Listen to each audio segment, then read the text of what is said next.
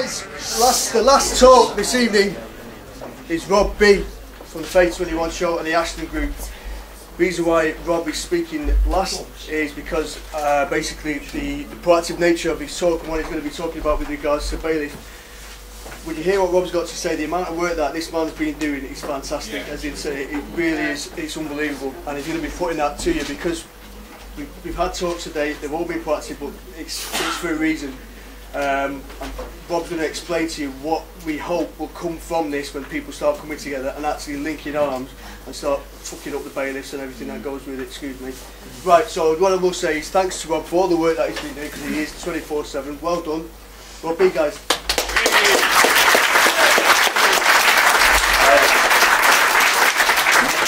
Where to start? Uh, thanks, lots of new faces in the room. Love to see new faces, guys. Thank you very much. You know, I'm, I'm humbled.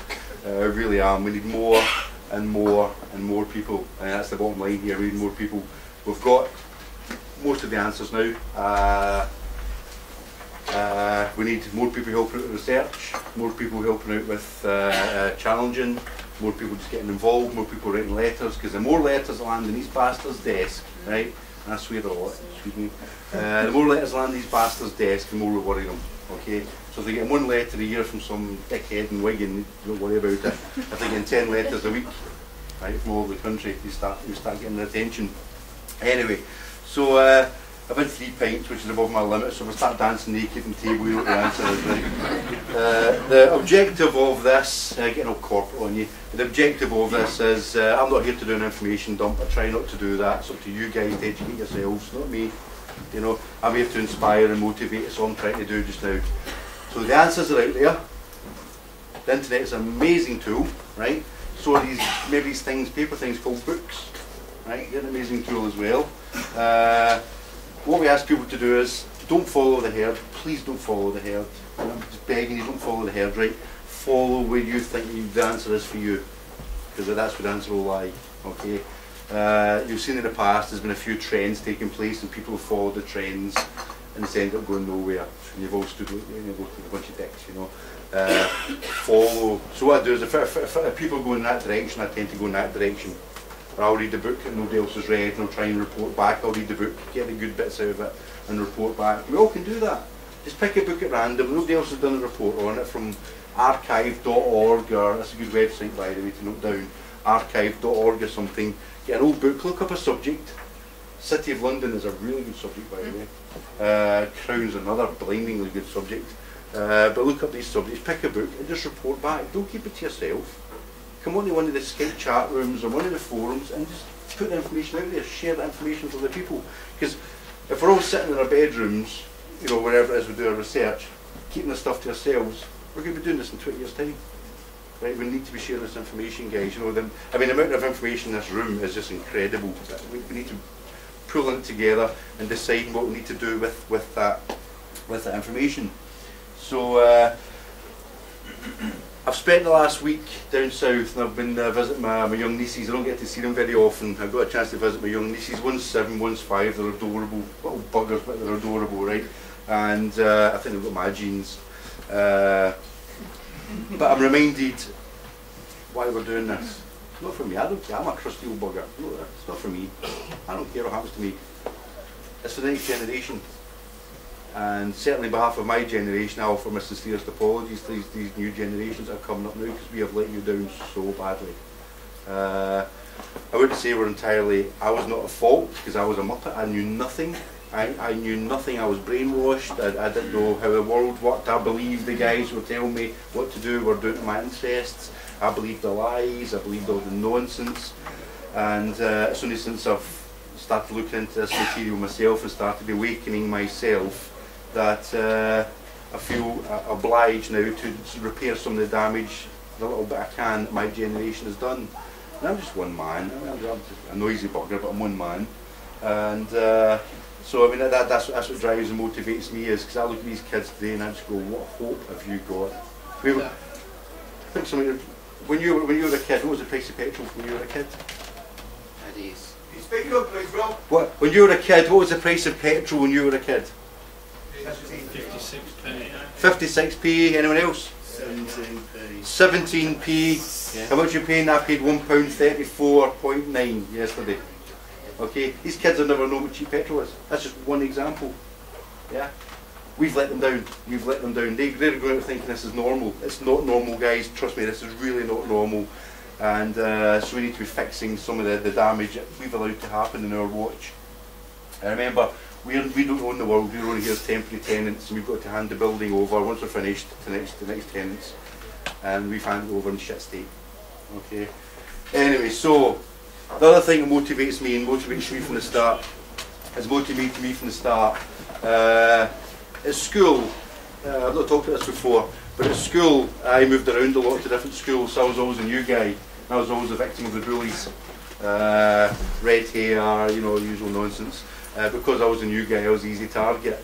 Until one day, I was thinking I was 14 years old, and uh, this the biggest guy in the school came over and started bullying me quite badly, and I knocked him out. I hit him. I lost it, and I hit him, and I saw the fear in his eyes, and that changed my life. So I realised it's okay taking it, taking it. When you turn around and hit them back, you see that fear in their eyes, and you never fear them again after that. Uh, so I, I, I sort of made a, if I see somebody getting bullied, I like to step in, you know. Uh, some people deserve to be bullied, but that's a different thing, you know, it's, you know, the, the guys in the government, etc. But I mean, to see, to see somebody who's innocent getting bullied, I'm, I'm an older brother, uh, and I stepped in, I've, I've stepped in to help my younger brother a few times to, luckily he never got bullied because I, I like to think I was in the background. That's what we all should be doing. We're the older brothers, older sisters with this, these other generations. We're beholden to stop them getting bullied. And who can say that the letters are getting, or stuff they're getting from these government departments, and utility companies, and credit card companies, and banks, that is nothing more than pure bullying. It really is. It's using fear, it's using terror, it's using threats, it's actually using violence in some cases uh, to get these people to, to, to, to uh, uh, uh, subvert to the, the will of the other side. And I just, as, as bullying, I don't care what anyone says, that's all it is, you know. And uh, I must admit, I apologise for my funny voice. I've lost the bridge in my tooth, which you get knocked out at 16 taking on a bully. Okay, so I've got a bridge put in then, so that's that is the result of taking on bullies, right? We can take these bullies on. Okay, imagine we're a school class and there's a bully in the background, we all get together, there's one bully there, let's take him on, okay? So, uh, we're here to stop the bullying. And by the way, they don't like when you call them bullies. Right? Uh, now, I'll go even further than that and say rather than bullies, they're also criminals now. Okay, now I've been talking to some people in the background and I must admit I spoke to a guy during the week there who can you knock me for six. Some of the stuff he was telling me was happening in the police force at a high level and the police are now very aware of what's happening, really aware of what's happening and the control now that private corporations have over our police force. And I must admit I lost, during the week I was a bit, oh, you know, you get some bad news you just so you, you, you, your, kind of defences drop, you go, why am I bothering doing this? And I must say, guys, walking here today to this full room of, of brilliant people is it's just uplifted me so much, really has uplifted me. So thank you for coming along, really do appreciate that. Uh, we can win, and the reason is numbers, guys. We are the force, we are the power. Remember the word power? From the action room have no understand the meaning of the word power. We are the power, right? Uh, they wield it on our behalf, we can take it back from them quite easily, as it appears. Uh, so just remember, it's just numbers. We need to be waking people up. Now, can have, uh, how many people in the room uh, in the town or village don't have a meet of free men, sovereigns, awakened people, whatever you want to call it? Be honest, put your hands, put your hands up. Right. You've all just elected yourself to start a meeting in your own towns or cities, okay? Seriously, guys, no, I mean this. I mean this. I, you know, that was cruel. That was cruel. That was that was cruel. But it's true. I mean, we started off the Ashton meet. What was that? Nigh on two years ago now. And there was uh, two, two, two guys, a flat cap and a whippet. Literally, that's how we started off the back the pub, right? And we've taken it forward. And I mean, the, the knowledge of people in the Ashton now is just stunning. I've walked away, my job's done. You know, uh, it's, it's, it's astonishing. But I mean, we didn't know anything. So just because you think, oh, I'm new to this, I don't know anything, even more reason to start this up. You don't need gurus. Don't listen to gurus because 9, 9, 10, 9 times they're nine, 9 out of 10 times they're wrong. Maybe not right for you. You need to work at your own life. So if we're all, if we, if we, for example, in room, they've all started learning the bills of exchange. I'm working away at the moment. They've started learning the bills of exchange, and it's moving forward, moving forward slowly but steadily. Nobody's rushing off ahead, and it's, it's, it's, it's keeping people at a pace where they can all be learning together because we need to know this stuff. Bills of Exchange Act. Uh, so I mean, no, nobody's walking into this. We, we, we presumed from the beginning nobody knows anything and started from that basis. It's that easy. So when you start these meets, you know, if somebody says, I've got all the answers, then fuck off. He doesn't, right? He doesn't have all the answers, okay? And I'll guarantee most of what he thinks is, is wrong or needs more information inputted to it. So, so we can all work together as, as teams, you know.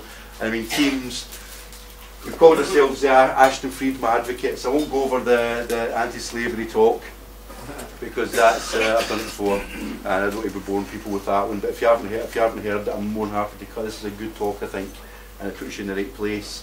Uh, but uh, under the United, Na United Nations Declaration of 1998, if you, it's how you identify yourself. If you identify yourself as a human rights observer or advocate, the state and its organs, the organs are utility companies, councils, police, everybody who forms any sort of public service role, public role, right, uh, has has to, excuse me, recognise you, protect you, and assist you. That's if you identify yourself properly. If you don't identify yourself, I'm just some mop, as the police call us, members of the public. If you're some mop from some council estate just turned up from the right, as soon as you say I'm a human rights advocate, uh, suddenly things change. And from my letters, I can prove that. I did one with DEFRA recently, and the first letter was like, yeah, yeah, there's the answer, and I off peasant. And I wrote back and said, actually, no, I've identified myself as a human rights observer. I'm now invoking a United Nations Declaration 98. The next letter I got was like two pages, you couldn't give me enough information. They've got rules and codes of practice to work to, guys, and they've got job descriptions. Hold them to it. Ask them, how many people in the writing to these officials ask for a copy of their job description? How many people ask for a copy of the code of conduct they've got to comply with? Do it. It's, it's, uh, you're obliged to ask that information. You're you running your own business, your own life, right? I've got to start acting competently, and it's difficult. I'm the worst one to talk, but you've got to act competently. And a competent thing to do, if somebody comes up and says your company or your business owes me such and such, first question is, who are you? Then what authority do you have? Then why are you asking me for this money? And what powers do you have to enforce this? Simple questions you would ask them. So you need to be, be what's called due diligence. You need to be doing your own due diligence. So if somebody comes up to you, giving you, asking you to do something, you need to say, are you within your code of practice and your job description, or are you acting outside of it? Because there's different bonds there where they act to, with different insurance they act, these guys work to. And my, my background is as a contractor, I knew to stay within my company, my company company policy is important. There's another thing you ask for. My company policy and my job description. Because the minute I step outside that, I'm personally liable. These guys know this. We need to be holding them to that one. Hold them within their job description. Because the job descriptions are actually quite good. They hold, they're quite tight. They hold them quite tight.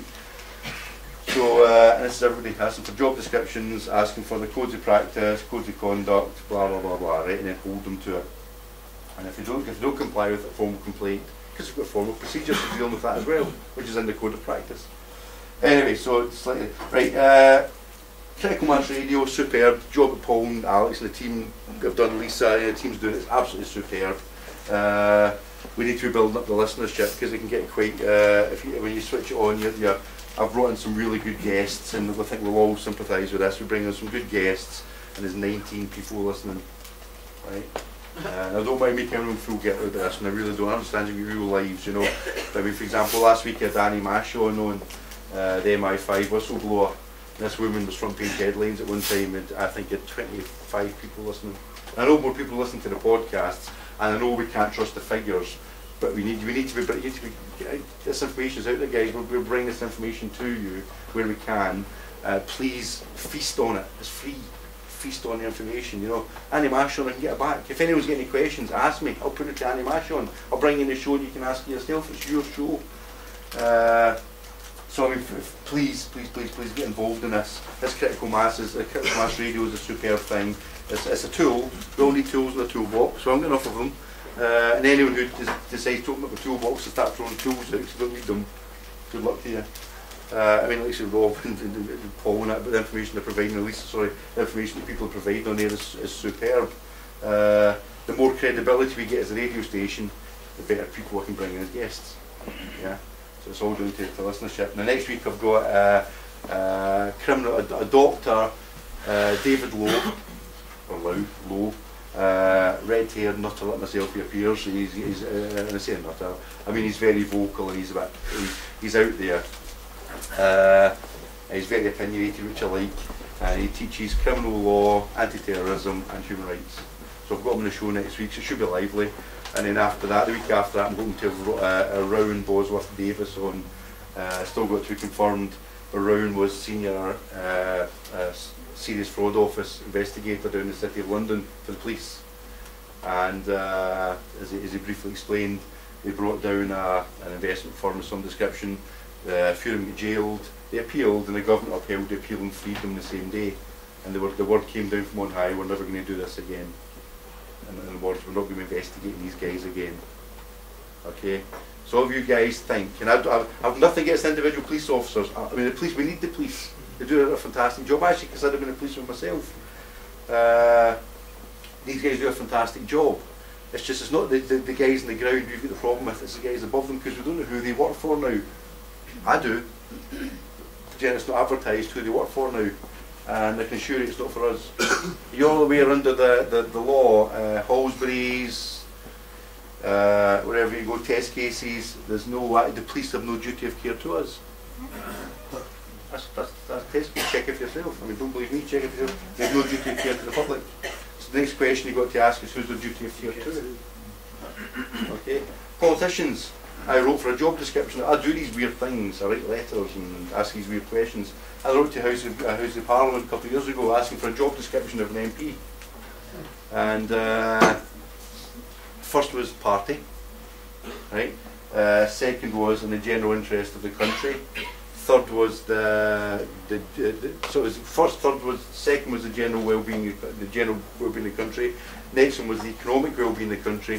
Fourth, the electorate right? We found out judges making decisions, okay? Uh, it's in the Localism Act, called Regional Localism Act. It's a good one to read. And you find that the highest priority for a judge now is the economic well-being of the country or the area. So when you're in there looking for a fair decision and looking for justice in the court, remember that judge is getting swayed. Because who decides what's the economic interest of the country? The politicos, the bankers. So, you know, this is a problem I've got is that uh, we don't have a functioning judicial system now. It's not fit for purpose anymore my opinion, and I'm willing to stand by it. When I get a judge standing there telling my wife that she's not going to divulge the jurisdiction of the court, we walk out. That we, we, the justice, justice system's now crashed in its arse, right? And I've no doubt there's good judges at the top, and I, I'm a show I say this every week, right? There's good judges at the top, and there's some excellent people at the top, very knowledgeable, very honourable, decent people at the top. Unfortunately, guys, your credibility is getting the backside ripped out of these tossers at the bottom who are playing hard and fast and actually running private businesses, pretending they're courts, and you're losing us guys. The, the justice system is now losing us, losing your credibility. I'd say you've actually lost it, and I would say it's gone as far as to say you've lost your credibility. Most of the people that come to us, I speak to some people, some really uh, interesting people, we're all interesting people, me maybe, uh, but uh, we get some really interesting people coming in. Uh, and I, I speak to, I, I had a phone call a couple weeks ago from a banker, can't say too much, but from a very, very senior banker. And uh, he phoned me up because he'd been victim of uh, fraud. And he went to the courts, shut, closed, open shut case. They found that the barristers had done a deal before the hearing.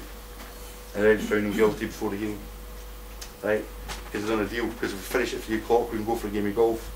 Okay, we won't bother to this guy. We'll yeah, he's guilty, blah, blah, blah. Right? Uh, fortunately, for this guy, he's got the money to buy other barristers in. That's his third barrister team and he's now got some of us involved. He's now instructing the barristers rather than taking the direct advice. Uh, he has now gone from being completely the other side to realising the justice system is totally screwed. It's completely utterly screwed, you know. So, uh, yeah, my opinion is, I don't I'm not interested in court. It's a place of business now. If you actually go the HMCTS, Majesty's Courts Tribunal Service, which was formed on the 1st of April 2011, from a merger of HMCS, Majesty's Court Service, the Tribunal Service, uh, and they merged all together into this bastard child, right? It's a private trust. Don't believe me? Go on the, the website and download the reports yourself. Everything I'm saying here, I can back up bits of paper, right? You can download the financial reports, it's called Trust Report, right? And it says the partnership. It's a partnership was created. They asked them for a copy of the partnership agreement. Oh no no no, that's private. You can't see that. You can have a look at our. You, you can use our, our uh, uh, uh, framework document as as as, as the, the partnership agreement. You're not allowed to have a copy of the official partnership agreement. Does that sound like a public body to you guys? Is it bugger? HMCTS, a private body run entirely for money, and the guys now can get involved in the bill of exchange, and they were seeing what HMCT is and how the courts work, right? Uh, I won't go into dwell, that's another talk for another day. But essentially, I like to focus on solutions. I'm not interested in acting. I mean if it's a hobby of yours guys, you know, no, no disrespect, if you're into religion or you're into anything that's a diversion from the real problems, that, that I'm, I'm all for that, you know, it's, feel free to use a hobby, it's a hobby, right? Uh, this saves lives we're trying to do your solutions. There's people out there just now cutting their wrists. And I got a phone call from a woman from Manchester, that would be May last year, never met the woman in my life, and she phoned up, she says, I've just been given your number, she said, I'd just like to thank you for what you're doing. What? what have I done? You're thinking I'm in trouble again. She goes, no, she says, I just found my daughter hanged, hanged herself in the bathroom. Right, she's been there for three days, hung herself in the bathroom, uh, six grand day. Six thousand pounds, 28 years old, uh, graduated from uni, good job and all that. For Popsy, six grand day. She was too scared to tell, she was too embarrassed. Hung herself and her mother pulled her body down after three days hanging, you know. And as you hear stuff like that, you re- it really motivates you, you know. We don't want people hanging themselves over money. You know, is that what a girl's life was worth? Six grand.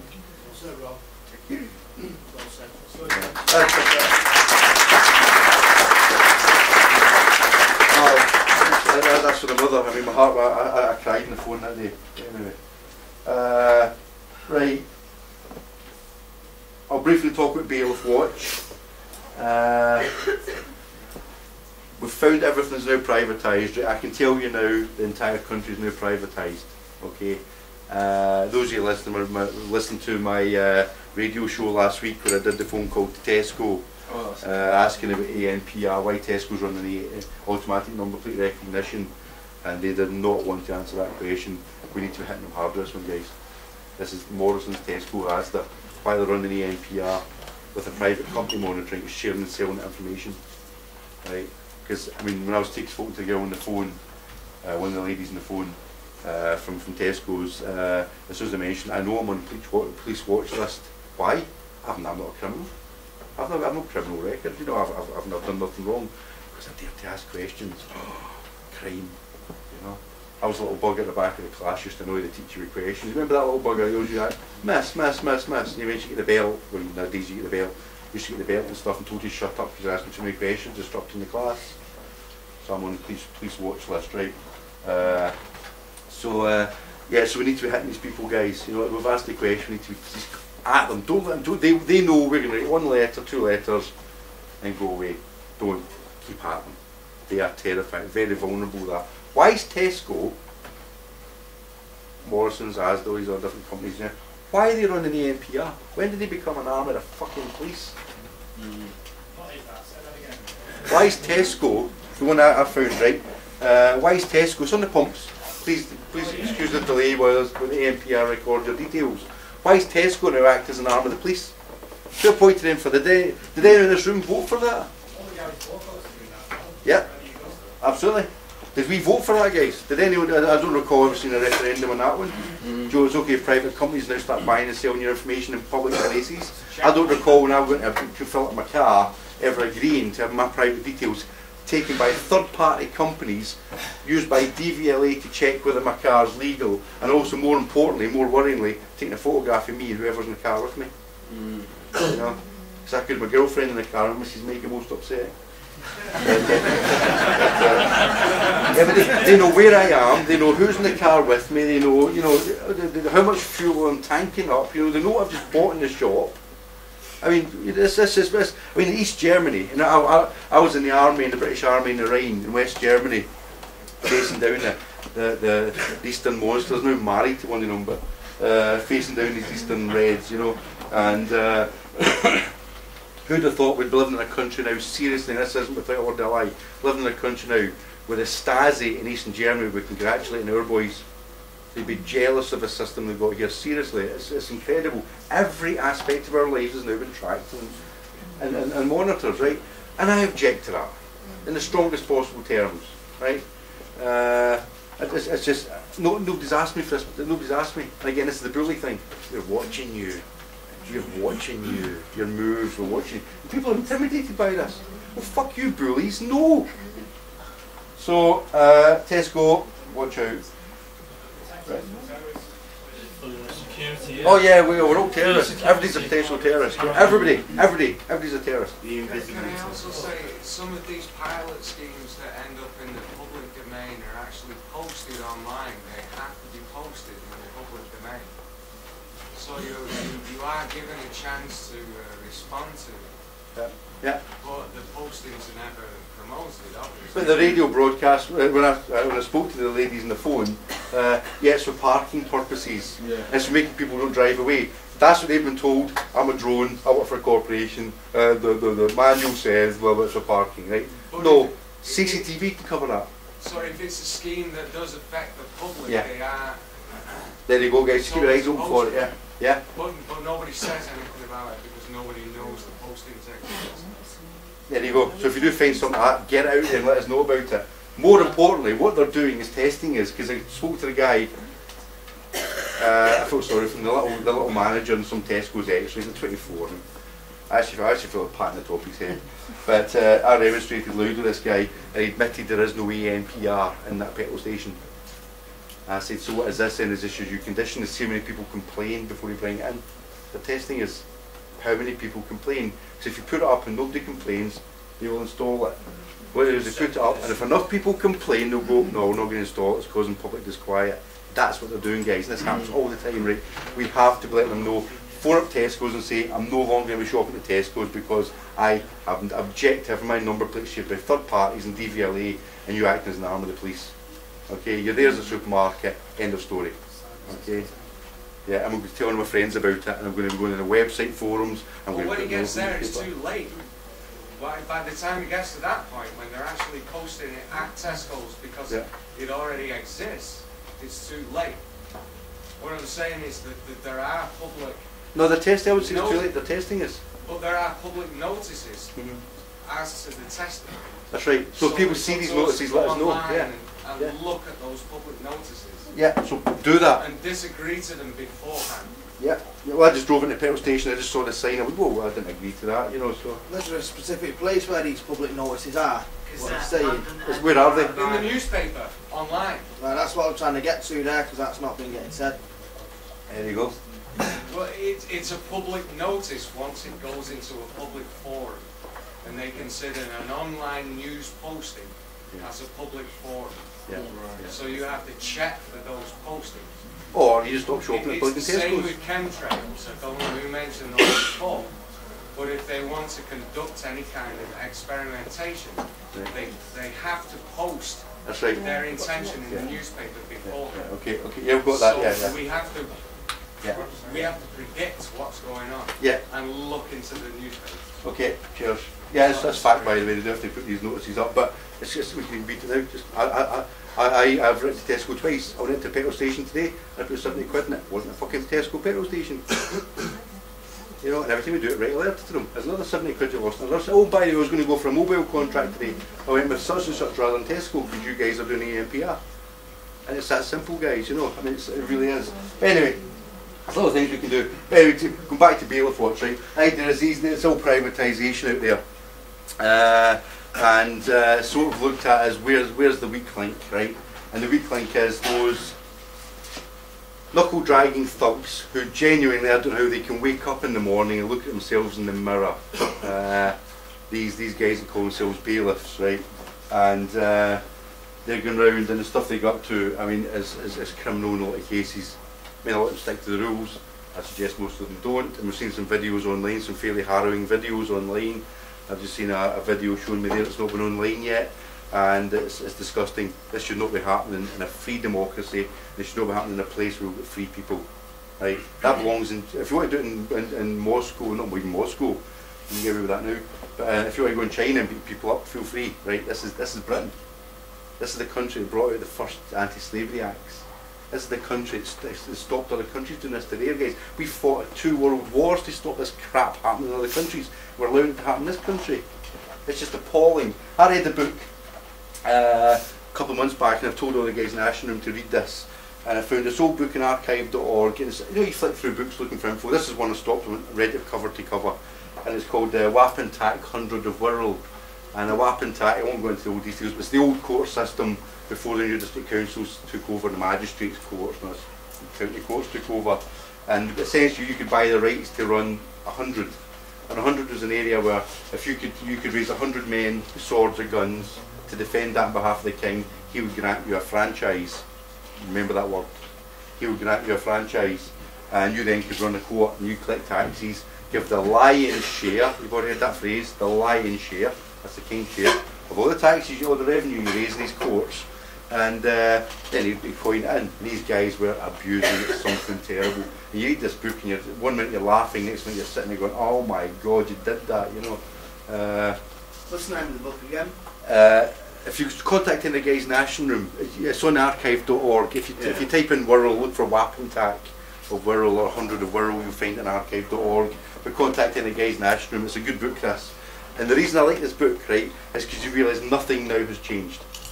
All that happened was in about 18, 1860s, 1830s and 1860s, 1870s, uh, the city of London looked at all these guys running these very lucrative little scams around the country and went, I want some of that. So they took over.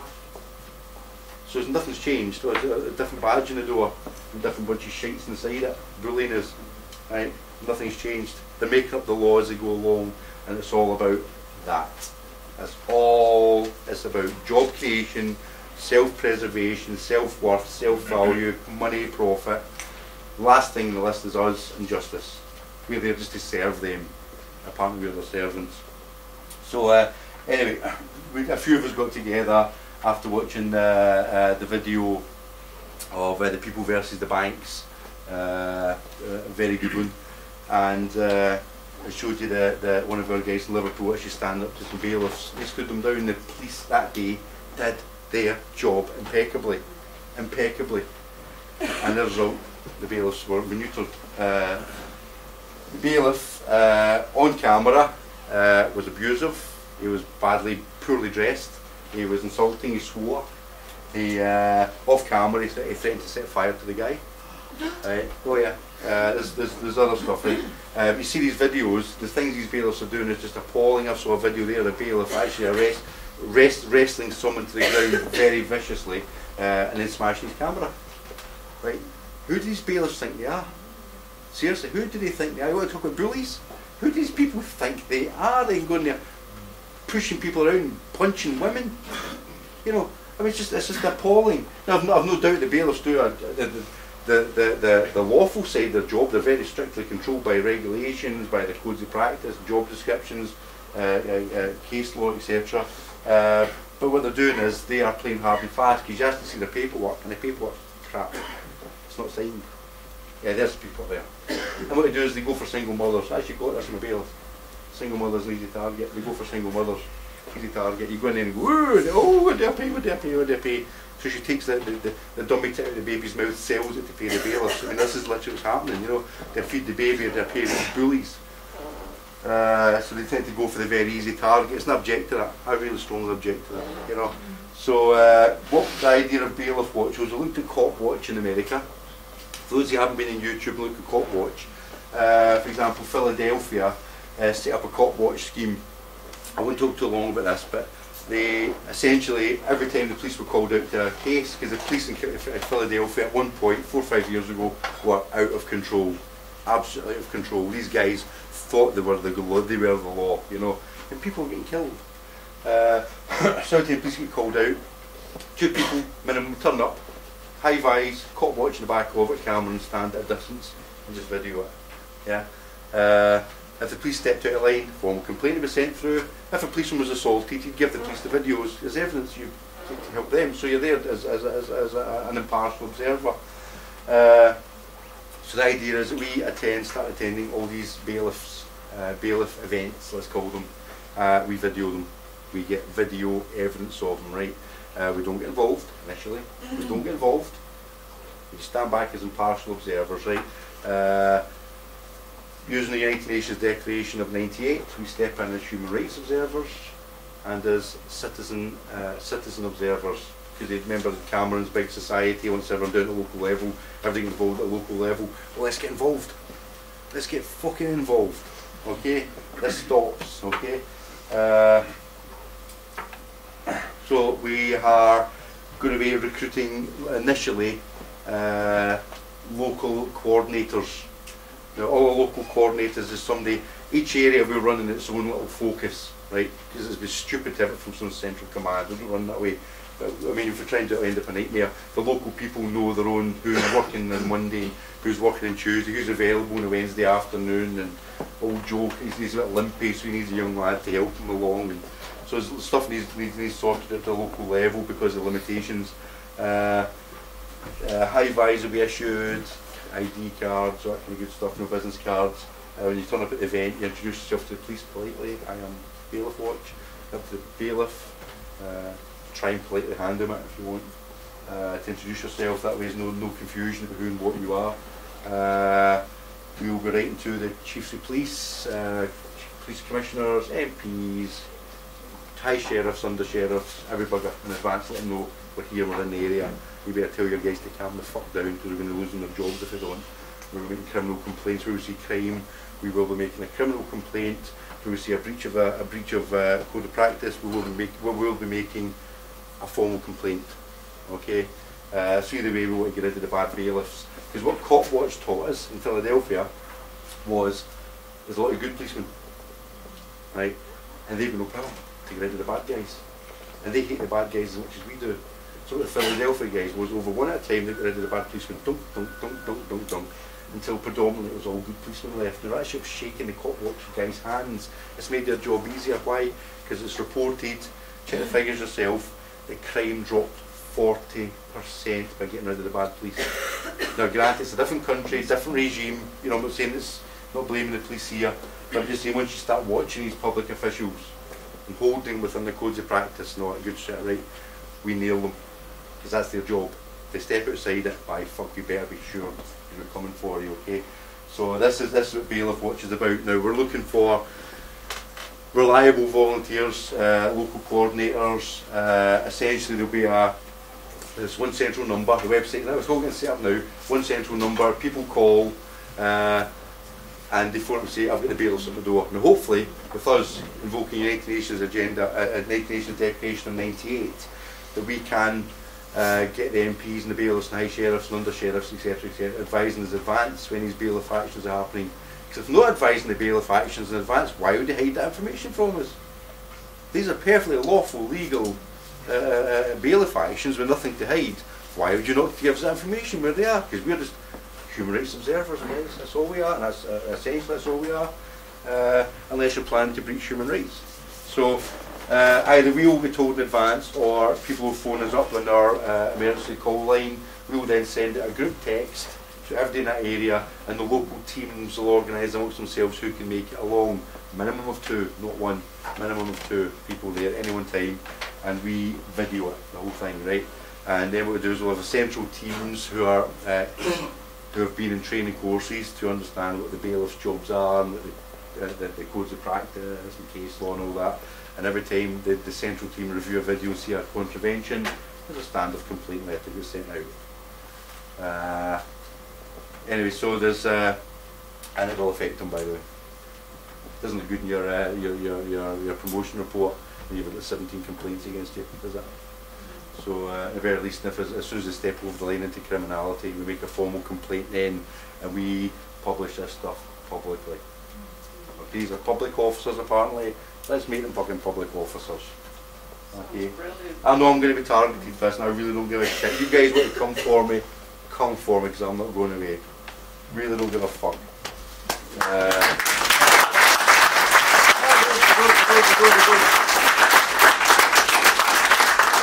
I don't, at the end of the day, I, am not going away.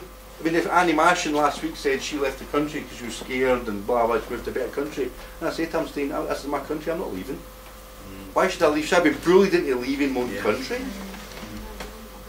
Anyway, so uh, so that's Bailiff Watch. So Bailiff Watch is uh, kicking off. I, I was hoping it would be kicked off by now, but there's there's, there's uh, uh, stuff happening behind the scenes. So we're just looking for more for more coordinators. So if you're interested in Bailiff Watch, introduce yourself to me or Laws or any one of the Bailiff Watch guys on Skype, and uh, or contact me uh, any other way. I'll, I'll put you forward as a as a coordinator. But I mean, this isn't going to be like you know you're doing this 24/7 sort of thing. This means you get a phone and you're able to answer the phone and, and, and contact your local guys. So it can be it, it be somebody who's retired. You know, you don't necessarily have to go to these actions. Just somebody who's retired who can say, oh yeah, she works Tuesday, he works Monday, and one thing or another. Uh, we do not get involved. Level-headed people only, no hotheads. Okay, because all it takes is one person to do some stupid, and it can damage your reputation with the rest of it. You know, so no hotheads. Okay, so that's that's Bailiff Watch.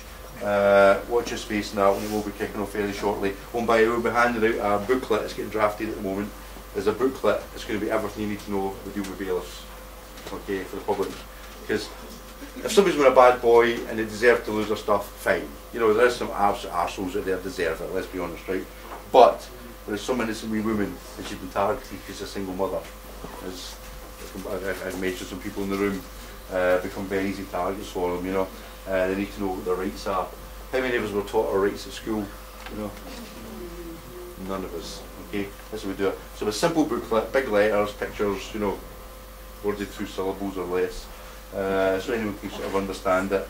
Uh, it's not been degrading to anyone, it's literally because if you feel like go deeper, you can go deeper, but this is what you need to know. And there'll also be stickers, BW stickers, right? Uh, that people can stick on their cars, and stick in the front windows. Three guys come along, look at your house and go, shit.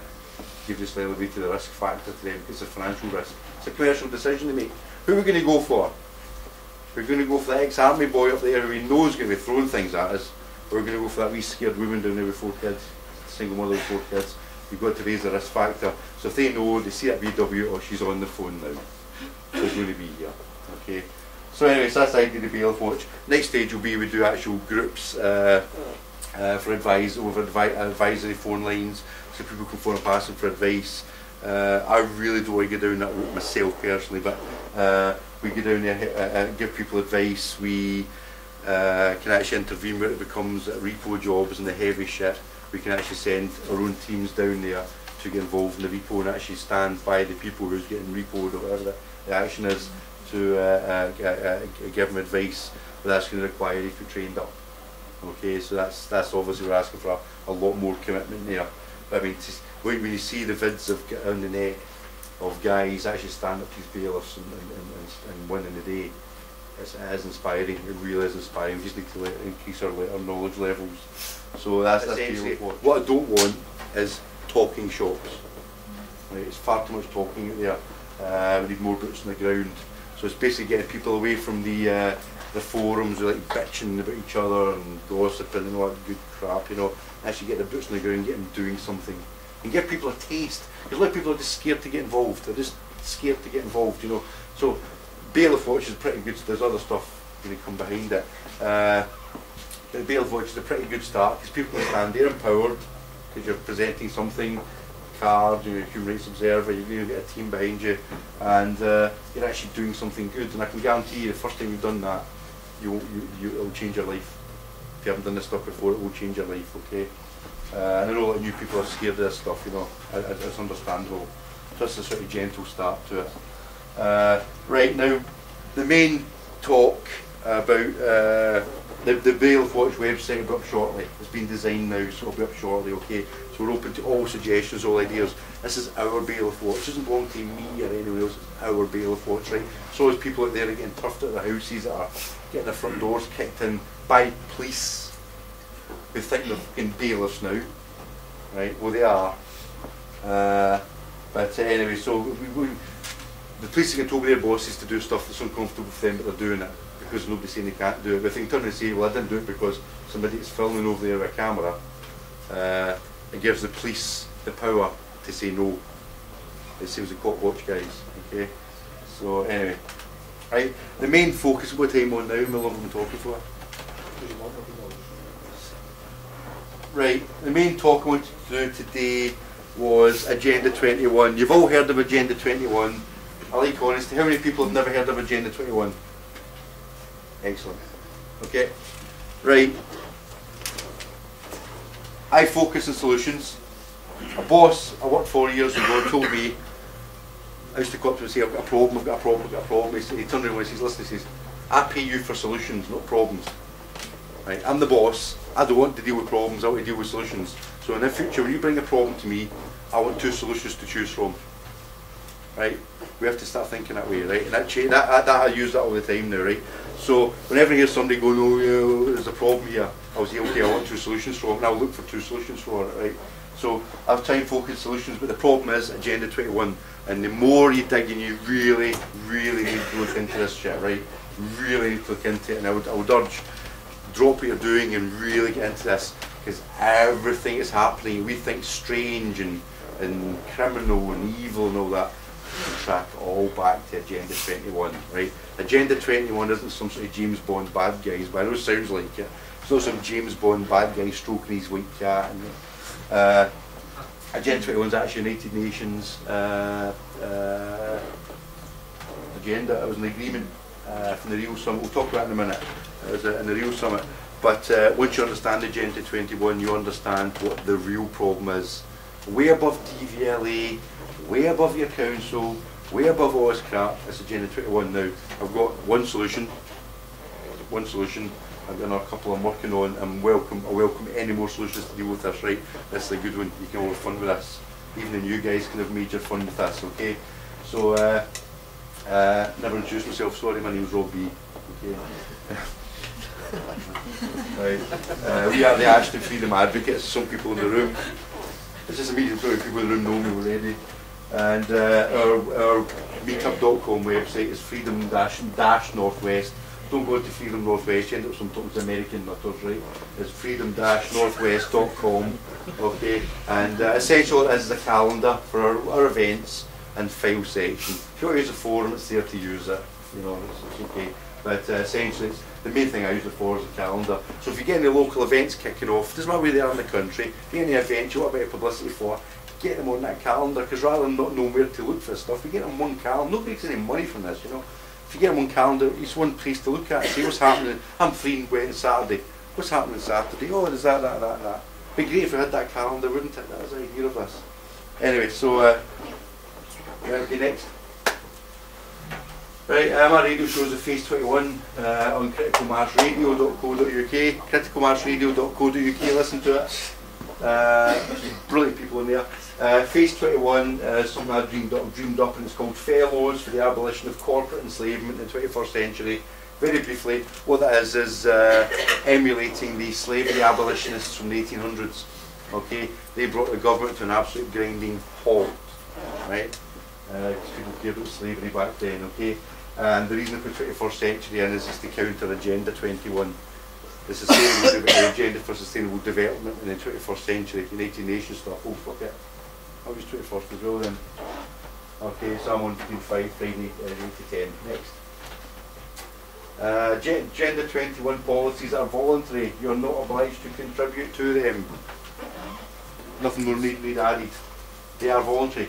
It's, you can read it. It says it's, it's voluntary on the nation states, and it's, therefore the nation states is voluntary on the organs of the state, the councils and the police and whatever. You know these these utility companies. It's voluntary on them. So the question I've been asking for the last few months is, what point has become bloody obligatory on me? Right? And the fact is, it's not. Okay, next. Uh, there you go. Beautiful, looks good. It's good, good, good, good advertising. It's all very cosy and warm, isn't it? They, they save the world and, and hug families and butterflies dancing over little children and, and giving, you know, that's good stuff, you know. So this is the kind of level we're dealing with. This is pure marketing crap, okay? Looks like Saturn to me. There's all different logos they use, and you know, the competitions you can bullshit with people with fancy logos every year. But uh, it's all painted has been very sort of dynamic and solving problems. Next one, right? run by United Nations. Okay, right. Uh, Telegraph, 8th of July 2009. Just as our banking sector is struggling with its debts, uh, this was Prince Charles, by the way. Uh, so nature's life support systems are failing to cope with the debts we've built up there too, he said. It said. There's a lizard apparently, some people. And if we don't face up to this, then nature, the biggest bank of all, could go bust, and no amount of quantities eas- easing will revive it. I mean, you happen to do okay. The Prince called for a rethinking of society's perfect perception of the world, if only because surely we all want to bequeath to our children and our grandchildren something other than the living hell or the nightmare that for so many of us now looms in the horizon. He said, it said, Lizard said, referring to an earlier speech in March when he said they were less than 100 months to act to save the planet from reversible damage due to climate change. He said there are now only, only, that's my Guardian reprint, uh, 96 months left. Now, do you notice the clues here? Children, grandchildren, living hell, nightmare, horizon. These are all buzzwords. You have to learn your advertising, marketing crap right. This is all buzzwords. Now, your average person out there uh, who doesn't understand this, oh, that's terrible, they're out to kill the children. You find a lot of these outfits, common purpose and one of them hide behind puppies and children and disabled kids, right? They do hide behind these outfits, hide behind charities. Right, so the minute you, you go, oh yeah, that's wrong. Yeah, but it's the children. They do it's all for the children. Okay. There Is that go. thing is involved in that? You, you, is it? It was the thingies with the hands with that. Yeah, absolutely. There is when he's Knights, I believe it's Knights of Malta. Yeah, Uh, a nice outfit. Okay, okay. This is the prince that's really caring about the world. Okay, next. Can I also say that both of those statements are uh, appeal to authority and appeal to emotion? They're both uh, Yeah. fallacies, they're logical fallacies. Absolutely, absolutely. abs- It's very clever. It's very clever what they've done. Yeah, there's different layers to these things. You know, we'll see a deeper layer to your average Joe reading this. Uh, what is Agenda 21? The Social Summit uh, really brought this out, produced a declaration and a programme of action for social development which stresses the need for full participation of all people in decision making for their future. For us, Apparently. hey, democracy. Apparently. Ah, and which contains a series of ten commitments agreed by governments. Also, it's not democratic then. Exactly. These are an enabling environment for social development. Can anyone in this room actually define to me what social development means? Well, I can teach Right, it's whatever the politicos decide it is. So first one, politicians decide what that is. The goal of eradicating poverty. Okay, fair enough. The goal of full employment. Okay, set your targets a bit high, okay. The promotion of social integration. Remember, this is for the world, by the way, right? The promotion of social integration. Oh, that's smart. about social integration. That seems a bit, mm. a bit dangerous as well. Get the Involved shit out of every one of those statements, logically. Yeah, absolutely, take it to pieces. But this is, this is what they're, they're throwing at us. This is the cra- corporate crap they're chucking at you, right? Uh, promotion of social integration, equality of men and women. I disagree women are more equal than women. My missus can beat me up, so I'm back down there. Uh, education. That word education. Oh my. What education? Get educated. Uh, speeding I'm, I'm, I'm not, I'm not into this conspiracy stuff. This is, it's, it's, I'm showing you the facts here. Speeding up the development. This comes from the website, by the way. Speeding up the development of the least developed countries. Great. Ensuring that structural adjustment programs include social goals. Structural adjustment programs. A better resourcing for social development. A better, better framework for international cooperation for social development. So what is social development getting involved in here, right? And I I haven't put on here, but the guys from the Ashton Room, I did the talk in human rights, and I showed them the uh, the the uh, it's called now. It was a protocol for the Soviet Soviet system. 1952. It's after it's after uh, Stalin had died, right? And all the commies got together, the little Reds got together went, oh, okay, we need, we need to make rules to make sure this never happens again. So they drew up like a, a manifesto. Uh, for, it's basically their, their Bill of Rights in the Soviet Union. And uh, it's full of this of crap as well. Okay. Now, some you didn't know was the Soviet Union used a, a phrase, is, uh, from understanding, it's been directly taken, used by Agenda 21 as well, used by United Nations, Sustainable Development.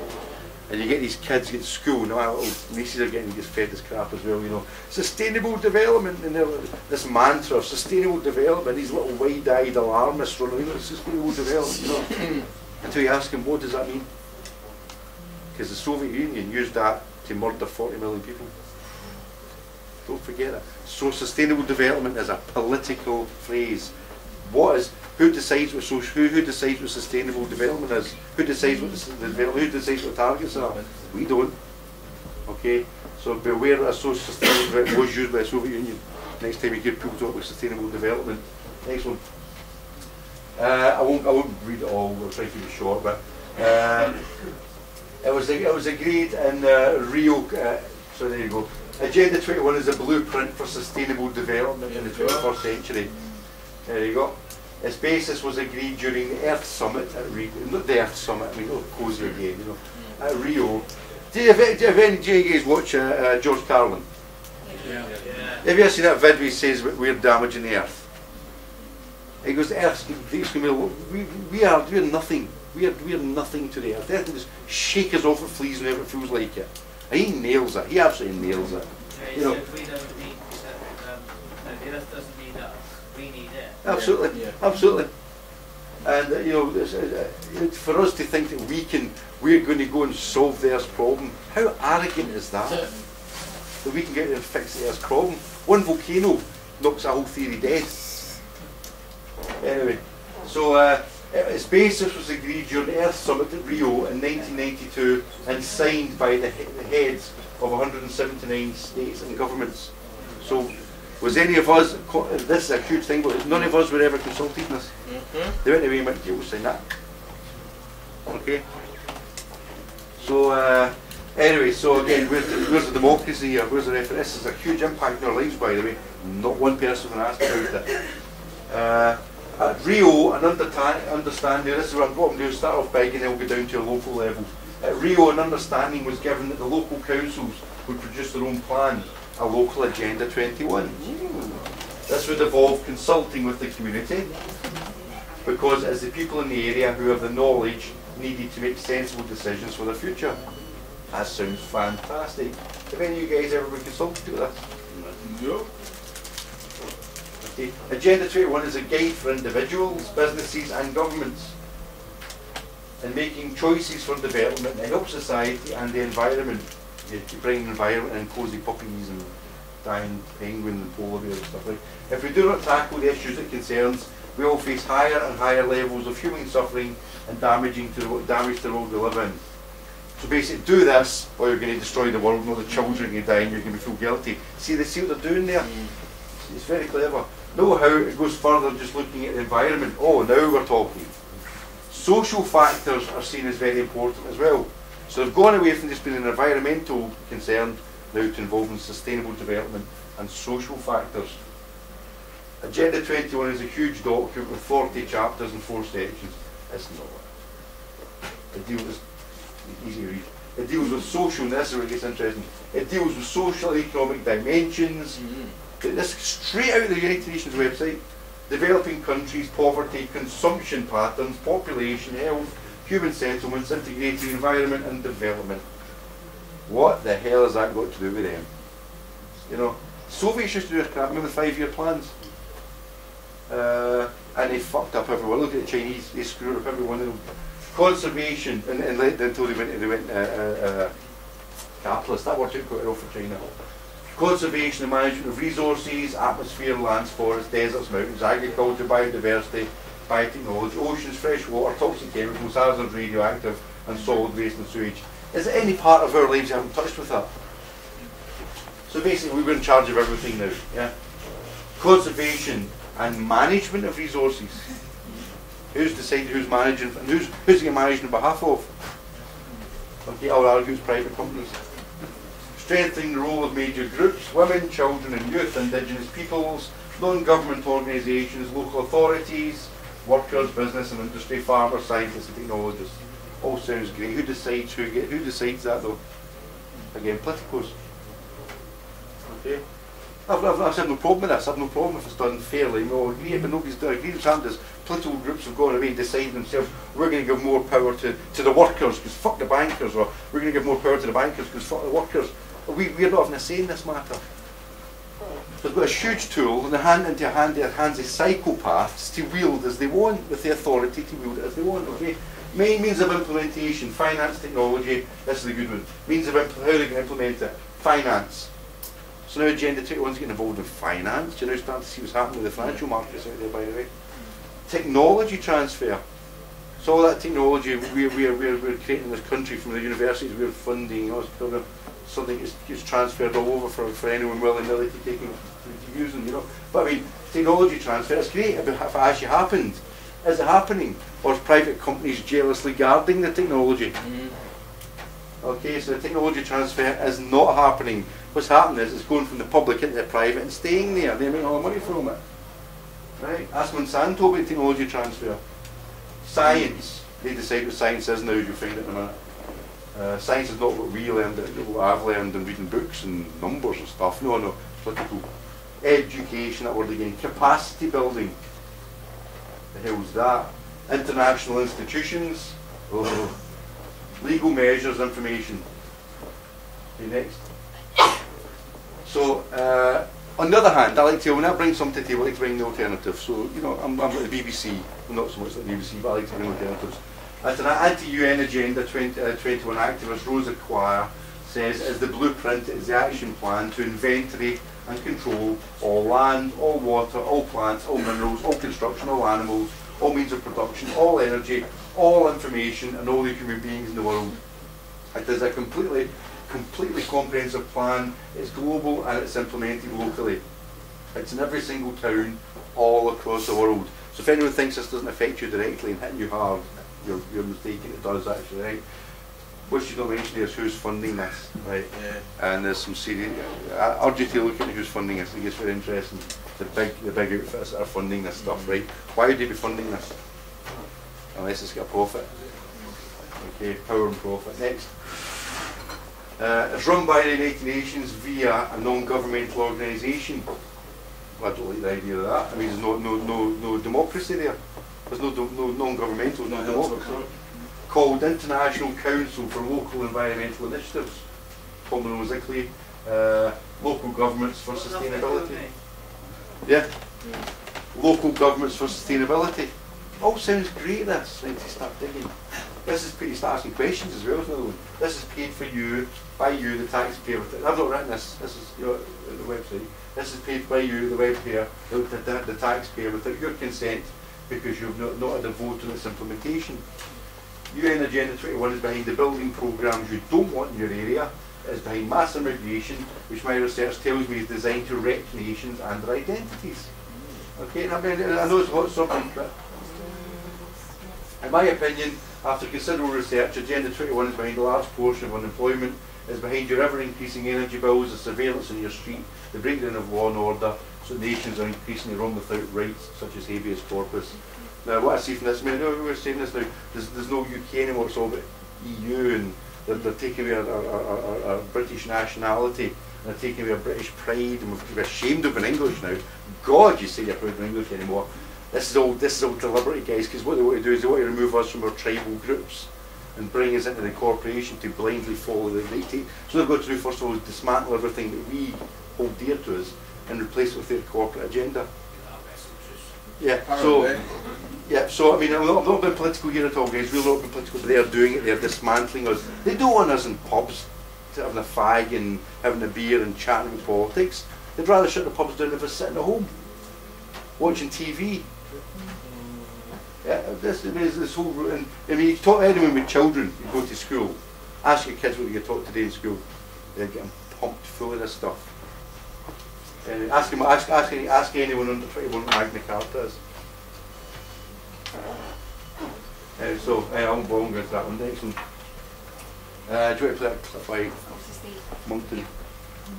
I'm not. I'm not. I'm not politicalist. I'm. I'm apoliticalist. I think politics is completely broken. I'm not political, I don't follow anything. If the Copenhagen summit taught us anything, is that the world is still very much divided about climate change. Lord Christopher Monckton is regarded as one of the world's leading skeptics on the issue. He's here in Australia, in the studio. And to debate him, climate scientist Dr. Ben McNeil from the University of New South Wales. Good morning to you both. Morning. Thanks, Lord Monckton, you've asked me to call you Christopher. Yeah. Um, why have scientists like Ben got climate change so wrong? I think what has happened is that they have exaggerated the small grain of truth that underlies it. Yes, if you add greenhouse gases to the atmosphere, you will get warming, but you won't get very much. Okay. Um, ben, is that a possibility that that the greenhouse gases are being overstated, that, that the impact on climate is being overstated, that this is just simply a natural event we're going through? Look, we've had 150 years of understanding of what is driving our climate and what greenhouse gases are. Just like we have, we know that UV is reflected by the sunscreen properties, we know greenhouse gases trap heat. Now, it is, it is very true that we have a range of different warming trajectories we're going on. It could be 2 degree warming by the end of the century, up to 7 degrees warming. But that's entirely dependent on how much greenhouse gas that we emit in the future. The science in terms of climate change is well and truly over in terms of the fundamentals. We can debate the politics, we can debate uh, what we do, but in terms of the fundamental understanding, it's, it's like trying to really debating the, the laws of physics. It, it- it's not debatable, unfortunately. The politics is, and I'm sure Lord Monckton will, will, will um, enlighten us on the politics. He's a, he's a politician. But in terms of the science, um, it, it is fundamentally uh, uh, sound. Well, is Ben right? Because the, the vast majority of scientists, credible scientists in the world, do back climate change. Do you have any evidence Is for it- that? Well, the IPCC report is, is one of it, all peer reviewed, 4,000 scientists. All right, let's take the peer review process then. Uh-huh. Just recently, it was exposed that they had decided that the Himalayan glaciers were going to melt by 2035. Settled science, IPCC, we've known it for 150 years, and now they've admitted what they really meant was 2350. And the peer reviewers told them they'd got it wrong, but the authors overruled the peer reviewers. Now, when I write a peer-reviewed paper in a scientific journal, if the reviewer says, we want you to explain this equation or expand that or say the other, you have to change it. In the IPCC, the authors prevail. There is no proper peer review Yep. process. Uh, ben, the sceptics have pointed out a lot of these holes in the report. Does that discredit the whole report? It, you have thousands and thousands of, of different published peer reviewed um, uh, evidence and science to go by in these reports. Now, if I was a reasonable person, I can easily accept the 999 observations that are out there. For example, that the Arctic sea ice has actually rapidly declined, worst case scenario, beyond what we thought in terms of our models. But in terms of the melting of these glaciers, that's true. We're always saying, well, there's, there's still melt in terms of glaciers, but in terms of this particular issue, okay, maybe not 2035, but it may be, it's still melting at an, an unprecedented rate. And that one evidence, what about sea level rise? What about droughts? What about bushfire risk? What about the temperature record? I mean, this is, this, what, we're, what we're seeing here is a, try, is a, is a, an attempt by many people in society who don't like what the science is saying. And, and that's and I, I understand that absolutely, but to try and point to cherry picking information here and there over the insurmountable, amazing amount of um, evidence that is out there from Australian scientists. We have CSIRO climate scientists, Bureau of Met- Meteorology climate scientists, to somehow discredit what we do as our in our lives, in our professional lives, is outrageous. With all respect, you are not an expert on the central question in this debate, which is climate sensitivity. How much warming will you get if you add CO2 to the atmosphere? And sorry, you Now, are- you are a climate uh, and, scientist? Is And what I, what I'm going to do is to give you some results in the peer-reviewed literature. Yes, one of them was written by me, but we're not going to mention that. We're going to mention other people, eminent scientists, not laymen like me. Let's take Professor Richard Lindzen, for instance, who has produced paper after paper showing that climate sensitivity is around a quarter to a seventh of what the UN says it is. That means you get a quarter to the seventh of the warming that the UN says. Uh, Douglass and Knox, series of papers from 2004 to 2009 saying the same. Numerous papers now saying this. And why? Because if you look at the only period of sustained warming over which we could have had any influence, and that's between roughly 1983 and 2001, all previous periods of warming we couldn't have had any influence on any analysis. In that period, the radiative forcing, the change in temperature forced by something happening, was naturally occurring cloud cover change of 3 watts per square metre, all anthropogenic forcings, estimated by the IPCC 0.8, five times as much forcing from right, natural causes as from CO2. We have- From that, you can calculate that the effect of CO2 on temperature is once again one sixth to one seventh of what the UN says. We had is. this That is an observed result. We had this debate, and, Pinker et al., and, and there are a lot of other scientists who totally disagree with that. But I suppose my point is, if you're wrong, Yeah. We go to hell and back. Right. If, if- hang on, if Ben's wrong, well then, what have we done? We better managed our resources. What have Ah. we lost? Just a moment. What we've lost is lives, and in the millions. Here's what Herr Ziegler, the UN's That's only right February 2013. Uh, Lord Lord Christopher Monckton, who's uh, very much against the United Nations Agenda 21, because he sees it as, for the conspiracy ones, a new world order. It's not conspiracy anymore. They're actually using this terminology in a higher level, right? But uh, you start to speak to guys in the street. I, I try to avoid losing my credibility with a little bit I've got. Uh, so avoid using stuff like New old Order because your average Joe Bloggs, as soon as you mention your old Order, runs for a mile, yeah. But uh, Lord, Lord talks about it's a new global dynamic where the big corporations are working together to, to, to, to carve up the world between themselves, okay? Uh, they, they control the world. And what happens is, is, is, is an activist comes on, we call him alarmist, and this guy's quoting all the stat, all the, the facts and figures and all that good stuff. Can I, can I just say about, about Monckton is, um, we're aware of what he's saying, but he's denying plainly that geoengineering doesn't exist, chemtrails don't exist. So to me, there's definitely a, Yeah. a, a conflict of interest on the agenda there for himself. And also, there's no mention of Codex Alimentarius Yeah. either. So I think Lord Monckton's not what he seems to be. Yeah. Don't know if anybody else- That's the two extremes. We know the truth always lies in the middle somewhere. Yeah, yeah. Yeah, absolutely, mate. There's two extremes, and we know the truth lies somewhere in the middle. So for us to define what the truth is, not these guys. So absolutely correct. I, I mean, I, I- you know, whatever he says here, I like to check the fact facts myself. And I've bought some books on UN Agenda 21, and I've surveyed some of the data. It's amazing how much these climate alarmists uh, will adapt the data because the best way to get us to conform is to frighten us. That's what governments do. I actually read the book a while back. Yeah, so it was a The end of the world is nice. Yeah, yeah. was- I watched one. It was uh, I forgot, was that BBC actually ran it five, six years ago. It was really, uh, the, the, the the nightmare of politics or something it was called. Anyway, uh, and they, were, they, they actually could go the government now no longer can govern because private corporations are doing the government. So what does government do now? All they do now is protect us. That's the only job. So it's- who are they going to protect us from? Oh, we'll, we'll invent things. So there's measles epidemics now. My God, I remember when I was a kid, measles. You have to get a party, put the kids together in one room. Remember the measles parties? I went Now it's like, oh my God, run for the hills. There's measles in the country, you know. Say, yeah. Apparently somebody's died. Oh, Apparently. right, okay. Well, but I mean, you know, the thing about it, they've got to invent terrorists looking as terrorists under your bed. You know, I, I, got, I get to bed today, I'm looking underneath it. Is there a terrorist under the MSS? It's getting to a stage, you know, and they're video cameras because everybody's a potential terrorist. Because that's the only job we've got now, is to protect us. Right? And it's actually in the United Nations, the Human Rights, Universal Declaration of Human Rights, and the subsequent covenants. Their job is to protect us. So that they're making they're making uh, uh, hay with that one, right? Uh, so they're inventing stuff now to protect us from, and they're going to protect us from ourselves as well, apparently. Okay, so uh, sorry that you can't watch this. I think it's quite good. He dismantles this guy. This guy starts talking about facts and figures, and Monckton lets him waffle, and he comes in and actually gives him the right facts and figures.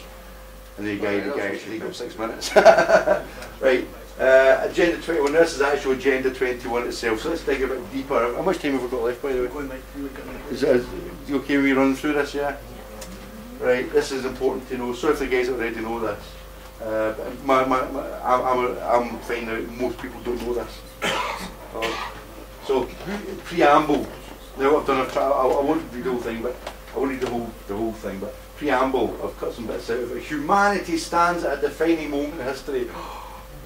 We are confronted with, a, I bet they said that in Roman times as well, confronted with a perpetuation of disparities between and within nations, a worsening of poverty, hunger, ill health, and illiteracy, and the continuing deterioration of ecosystems on which they de- depend for their well-being. So see all the things are brought together. At the end of it, it's ecosystems.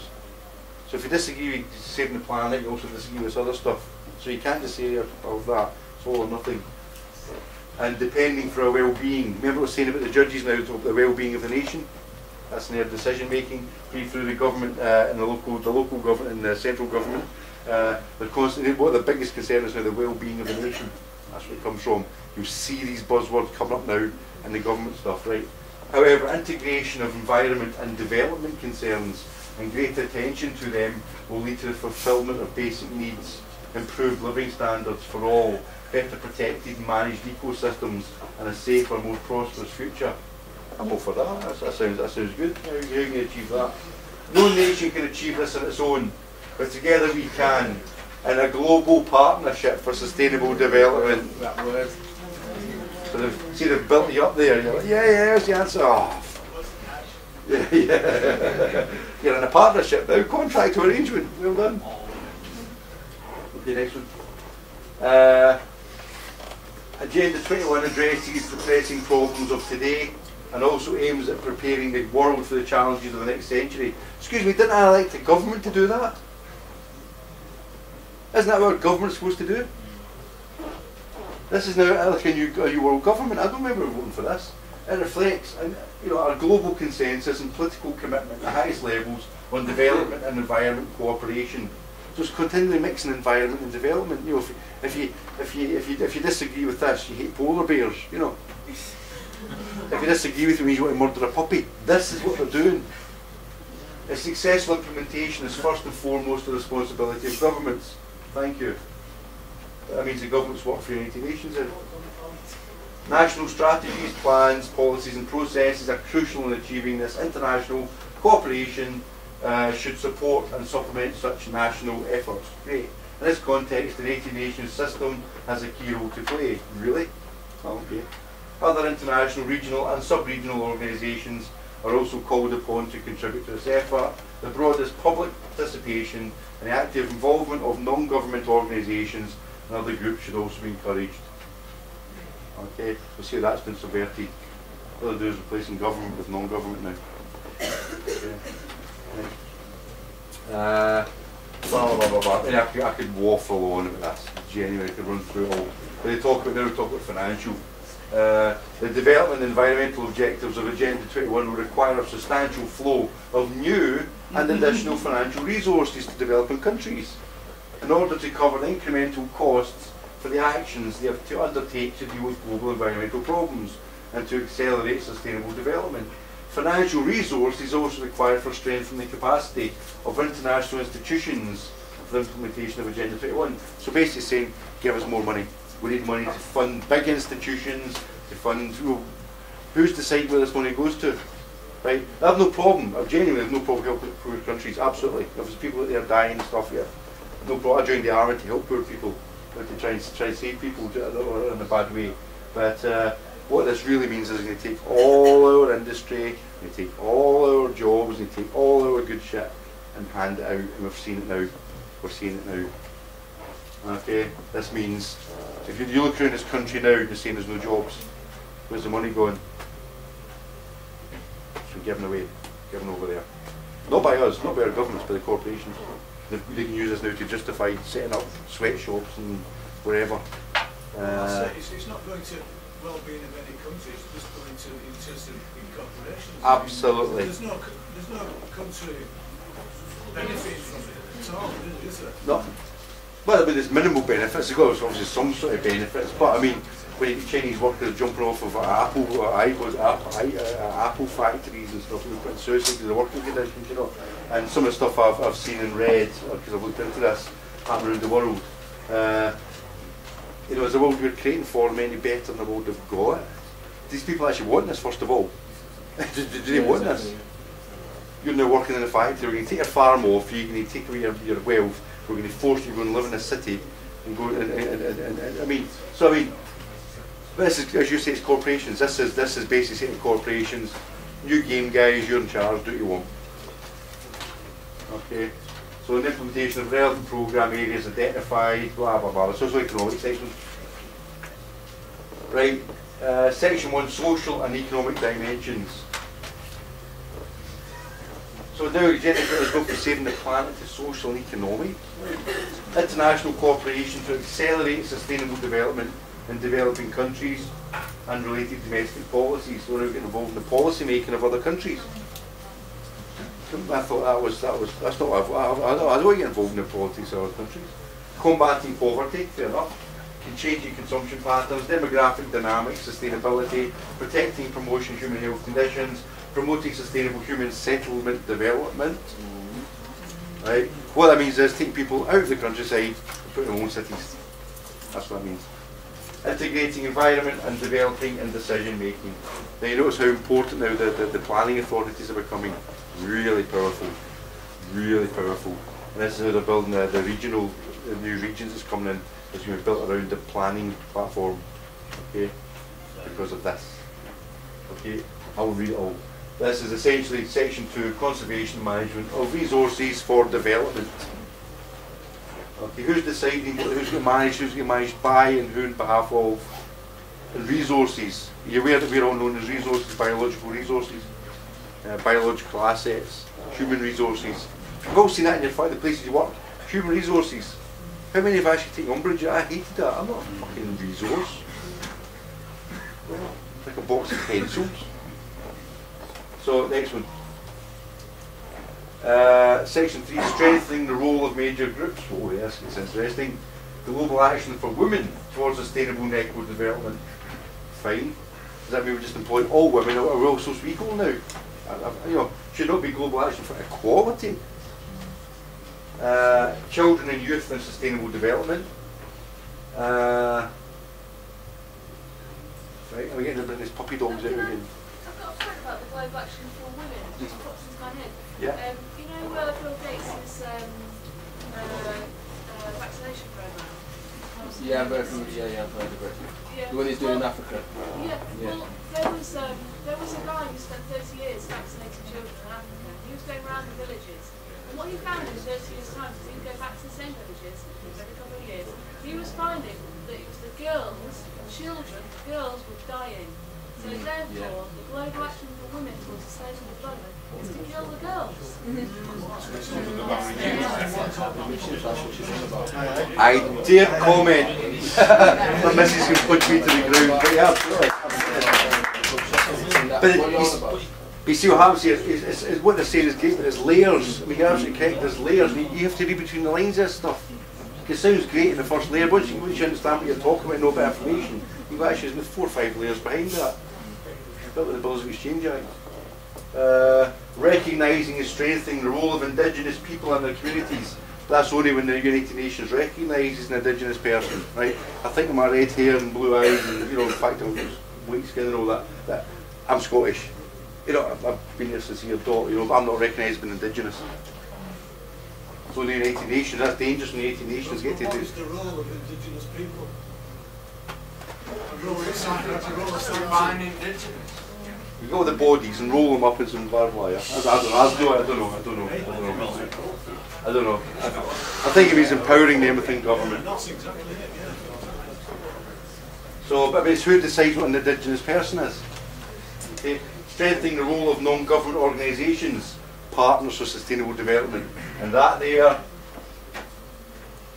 is the big one. Yeah. That is the big one. Right, it's buried in the middle. Non-government organisations and partners. So it's talking about private corporations that are running the world, and that is the big one. We're seeing it now. Then local authorities initiatives in support of Agenda 21. We'll go into local authorities in a minute. Strengthen the role of workers, trade unions, the role of business and industry, technical growth community, and the role of farmers. Next. I won't read through them all. Uh, means of implementation, section 4, financial resources, mechanisms. So talks about transfer of environmental sound technology, blah blah, cooperation and capacity building, international legal instruments and mechanisms. Whoa, whoa, whoa. So what I mean is that we're taking away our common law and replacing it with civil law. It's all here, guys. It's all in there. Uh, information for decision making. Who's making the decisions? Who elected them? Next. Uh, this goes through the whole thing. But I mean, what I will bring out this this focuses on the local authority, which is where I'm coming to. Uh, in fact, two thirds of the two and a half thousand items of Agenda 21 relate to local councils. Okay, each local authority has to draw up its own local Agenda 21, LA 21 strategy, follow discussion with its citizens of what they think is important for the area. Stop there. Eight citizens, that's a killer. Eight Stop citizens, Right. that's a killer. So every local authority, remember this is this is this is voluntary local authorities, not obliged to accept this, right? Uh, I'll guarantee all of your local authorities now, if you go through your council constitution, say we only we now comply with Agenda 21. Hands up all those who've been consulted in that in the room. I wrote to you, unfortunately, uh, I had tell this. us how to opt out of it, though? Yeah, yes. Tell them. Yeah, yeah, yeah, we will. Uh, well, you, you tell them you want to opt out of it. I'll tell you why. You don't. You, the thing is, you've never opted in. You're just forcing it down your There's throat. a presumption, You're just forcing right? it Yeah. throat. It's an Presumption. assumption. I'm sorry, Gary. I'll go. I'll go into that. Bit, yeah, yeah. I'm going. I've got. Got stuff to support that. Now, unfortunately, this is this is the corrupted version. I had this on a dongle. The letters I'd put on there have disappeared off the, the, the presentation. So a bit of panic as well. I was late, a bit of panic this morning trying to cobble this together. I lost all the letters I've got. I've written to loads of loads of places asking these questions. So it's not whatever I say, I can back up. But so Wigan Council has said that uh, the council that apparently says it's got authority over me, they're a private company by the way, not Wigan Borough Council, but anyway, Wigan Council has said in the, the, the, the council constitution for Wigan Borough Council that uh, uh, Agenda 21 has now been implemented across uh, the borough. Hey! I was never voted that. What's the financial implications of that? And then you ask them, uh, uh, you write FYs to them, right, which people need to do. You ask them questions like, so how did you how did you get this? It says you must have you have discussion with citizens of what they think is important. It says there, right? So how, how did you how did you get that mandate? How did you discuss with citizens? And then you get a page and a half of blah, right? It was it was a focus group. So the next letter write in says, how many of that focus group didn't work for the council? You don't get a reply. Okay. So uh, anyway, yeah. So eh, these these LA 21s, right? You have to look into these, right? Now, I got this from the UK. Oh bloody hell! Uh, Environment Agency, uh, Environment Agency on website. Anyway, so this is straight out. This is straight out of their literature. I'm not making this stuff up. LA 21 follows the principles of sustainable development and the goal of ensuring a quality of life for everyone, both now and in the future. Ah, the sustainable development's in there. Like Agenda 21, it focuses on an economic, social and environmental agenda. See, they're starting to widen how much, how much sphere of activity this has got. And develop solutions to problems through encouraging better, more efficient practices. Now, you guys uh, who have seen that Circle document I was telling everybody about the controlling the human puppet. If you haven't seen this, it's a beauty. Go to the Circle Institute and they've got a load of publications there. You can download the one Controlling the Human Puppet. And you want to understand what Cameron's doing now, that is the document. I thought this is what developed the nudge thing. So you're nudging people right towards solutions. You're constantly, you don't tell what to do, you just constantly keep the pressure on and nudging, nudging, nudging them. Unfortunately, that document they admit it's only ever been tested in rats. Okay. Uh, so saying it's encouraging, so it's constantly just encouraging, encouraging, encouraging. How, how do you define that word encourage? Is that just constantly putting pressure on us? Is that constantly br- brainwashing children and telling them lies? Is that is that using the law to encourage us? Don't do that because the law says to do this. That's what's happening, by the way.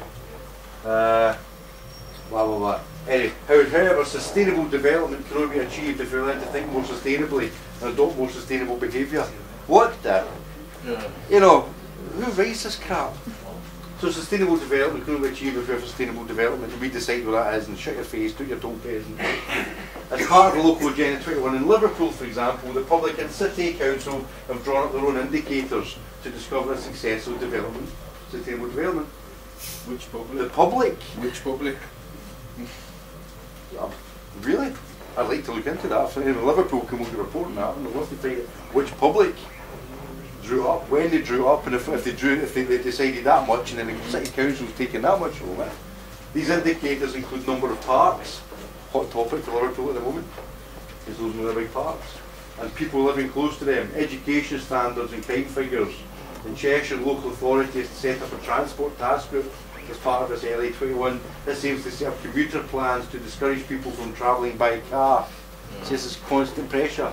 I paid for the roads. I've got a car, I'll travel on it, right? I'll be sensible and I won't be using it for silly purposes. I'm not going to myself a five litre monster, I'm going to get myself a little silly car. I don't want anyone in the council driving a fucking three litre Jag themselves telling me I can't drive a 1200cc bang around the town. You know, it's just wrong. Uh, you go to the council car park and have a look at the cars in that car park. These are the guys that tell us to live greener. Fuck you.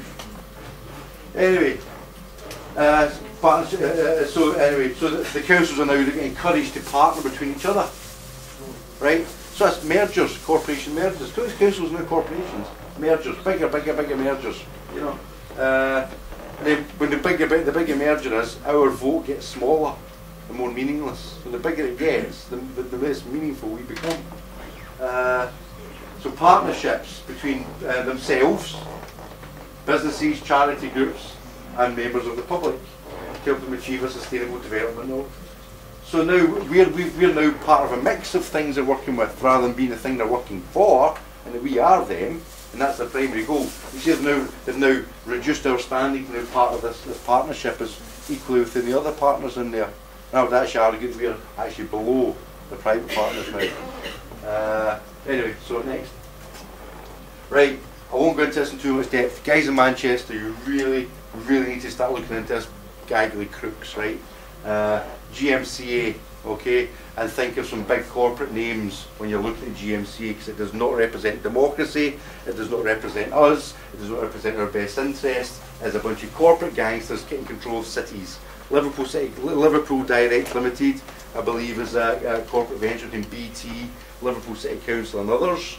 Right, I believe from understanding, from what I've been told, and you know, I need to get confirmed properly, is uh, the Liverpool City Council own 10% of that partnership. Okay, GMCA, Greater Manchester Combined Authority. Greater Manchester Combined Authority. Uh, we, we are in Manchester, Manchester, Greater Manchester.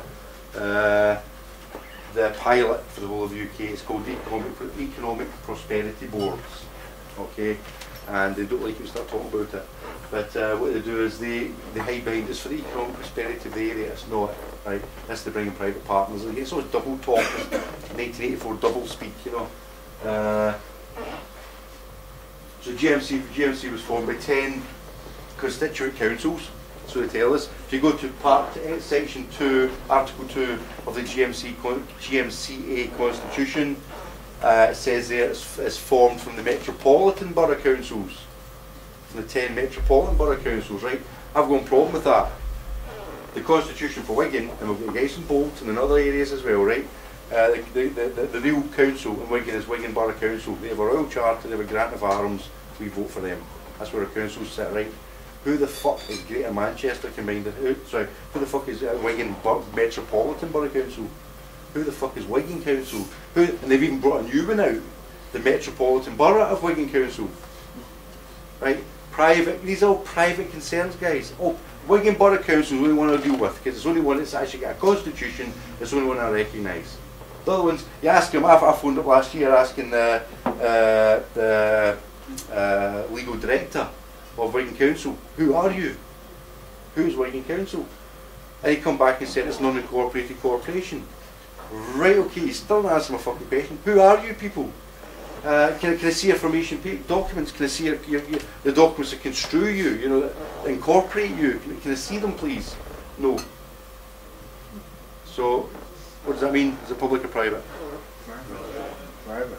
Yeah, that's my response then. Fuck you and fuck your private company nothing to do with you, right? Uh, this, really, this, this is the bailiff's part of the bailiff watch things, right? This is what it's called. This is straight off their website. Greater Manchester Combined Authority. They get their authority from the ten metropolitan councils. Uh, yeah, if you ask what, how, what authority the metropolitan borough councils have, sort of shrugs and well, it's blah blah. What they don't admit is it's all statutory. We didn't vote for Metropolitan Borough Councils. Okay, we're sitting in Wigan. Okay. Uh, so then I phoned up Lancashire County Council and asked, does Wigan come under you guys? Nope. Then I phoned up GMCA and I spoke to a guy in there. Uh, does Wigan come under you guys? Are you the council for Wigan? Nope. I said, but I said, uh, I phoned up uh, Wigan Council and asked them, uh, who's, who's, uh, who's the who's the county council for Wigan? We are. So you your own county council? Yep. Well, there's no county council. We're independent authority. Right, but 1888 Local Government Act, and I won't be go into depth. I got a lot of a letter back today from uh, Mrs Maggie Crosby. I've written to uh, Theresa May asking about the 1888 Local Government Act Section 79 Part 2, which says all the, all the duties and liabilities of the inhabitants of the county will hereafter be the duties and liabilities of the county council. And it's basically, that's what it says, I can't, can't describe it any better. Uh, she talks Wigan Council, Borough of Wigan, now she calls it the Borough of Wigan, right? Wigan Borough Council, the, the Borough of Wigan, uh, does not fall under the jurisdiction of any county council. Note that. Yeah. And that's exactly the reply I got when I, when I wrote to them as well. Yeah. Right. Uh, what they're doing is uh, dismantling the county councils and replacing with uh, regions. So what they do is they're breaking them up into smaller units and then combine, recombining the small units into big units to create the regions. Okay, we're the pilot in Manchester. Look at they've called it the hub. Is that not the, the, like an evil character Like of some Bob James something. Bond looking thing, isn't it? The hub. I mean, seriously, I mean, the hub, it's like, uh, you, they do, preparing Greater Manchester to adapt to unavoidable effects of climate change. Who appointed them, who appointed them to do that? Increasing awareness and understanding leading to behavioural change. This is from their own stuff, guys. Supporting Greater Manchester's collective 48% carbon reduction target. Greater Manchester, who's Greater Manchester? I'm not the Greater Manchester. So did decide this? Realising economic opportunities associated with transition to a low carbon economy. Turn that round is realising economic disaster that's going to be happening as well. But say they, they spin things properly. I'm I'm, I'm not saying there's no climate change, right? Because I think all weather, right, for a start, right? And solar storm, Sun.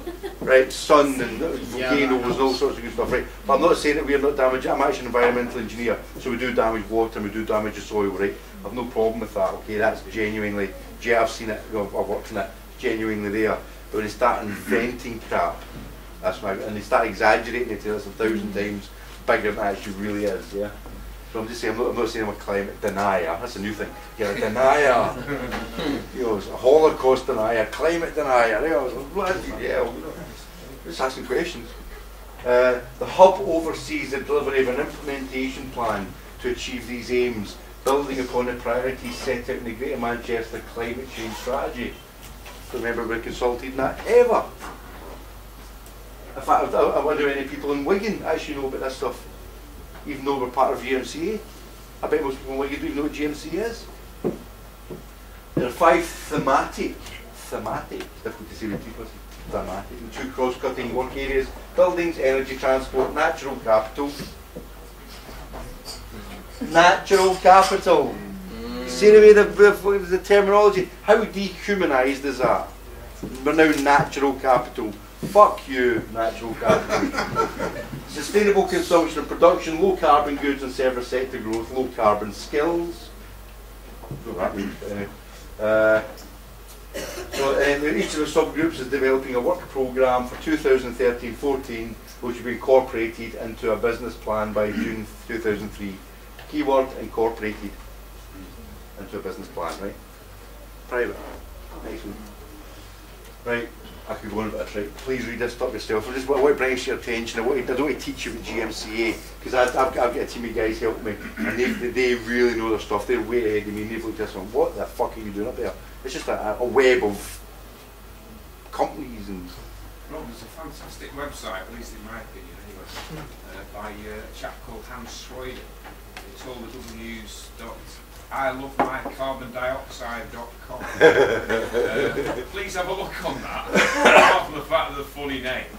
Uh, he's a scientist and he just presents science very, very interesting. I was Yeah. trying to get hold of him for a talk, but I can't get hold of him because got slapped off that much he's reviewed his email. There's a few good guys. Yeah, absolutely, absolutely, absolutely. See, I'm not, I'm not going to focus on the, the, the reality whether or not there is weather, right? Uh, I just want to focus on how it's been politically manipulated, how it affects us. But yeah, absolutely, I'm, I've, I've read up a lot on that, that and I'm an environmental engineer, so I'm a bit more aware of it. It's amazing they can take nothing and turn it into something. I don't think we have any effect on weather at all. I, mean, I think we have effect on pollutions, you know, sea and soil. Not on the weather, I think it's all done. No, that's what chemtrails and stuff. Yeah, it's all hard and stuff. Yeah. Right, so, anyway, so, mention some names. The chair, or it's just as the sustainable consumption and production. So they've decided what's sustainable consumption and production. So they say how many people when you live here. This, uh, what was they called it? Natural capital, was it? Okay. The chair is Martin Hoole of Cooperative Estates. Deputy Chair Clive Memmott, Greater Manchester Chamber of Commerce, all private companies.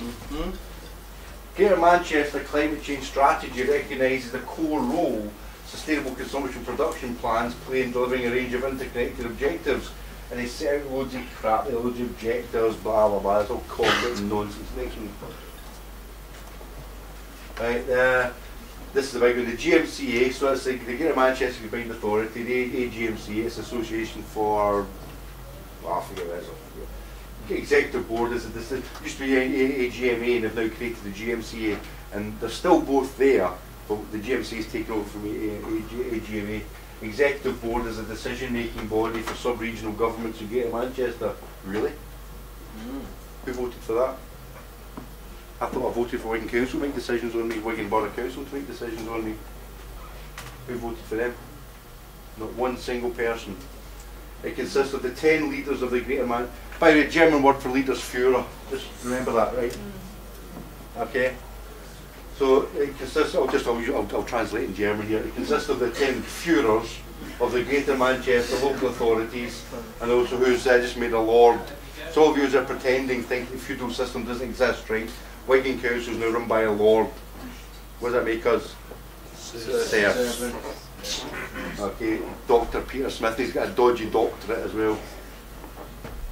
Uh, okay, I think he was bullied at school or something. I don't like it. It consists of the 10 leaders of the Greater Manchester local authorities and also representatives. So it's not even a representative body, it's just leaders. Mm. So you get the Führers, the lords, these little feudal lordships all coming together into, into sort of a, a kingship now. Do you see this, the feudal system?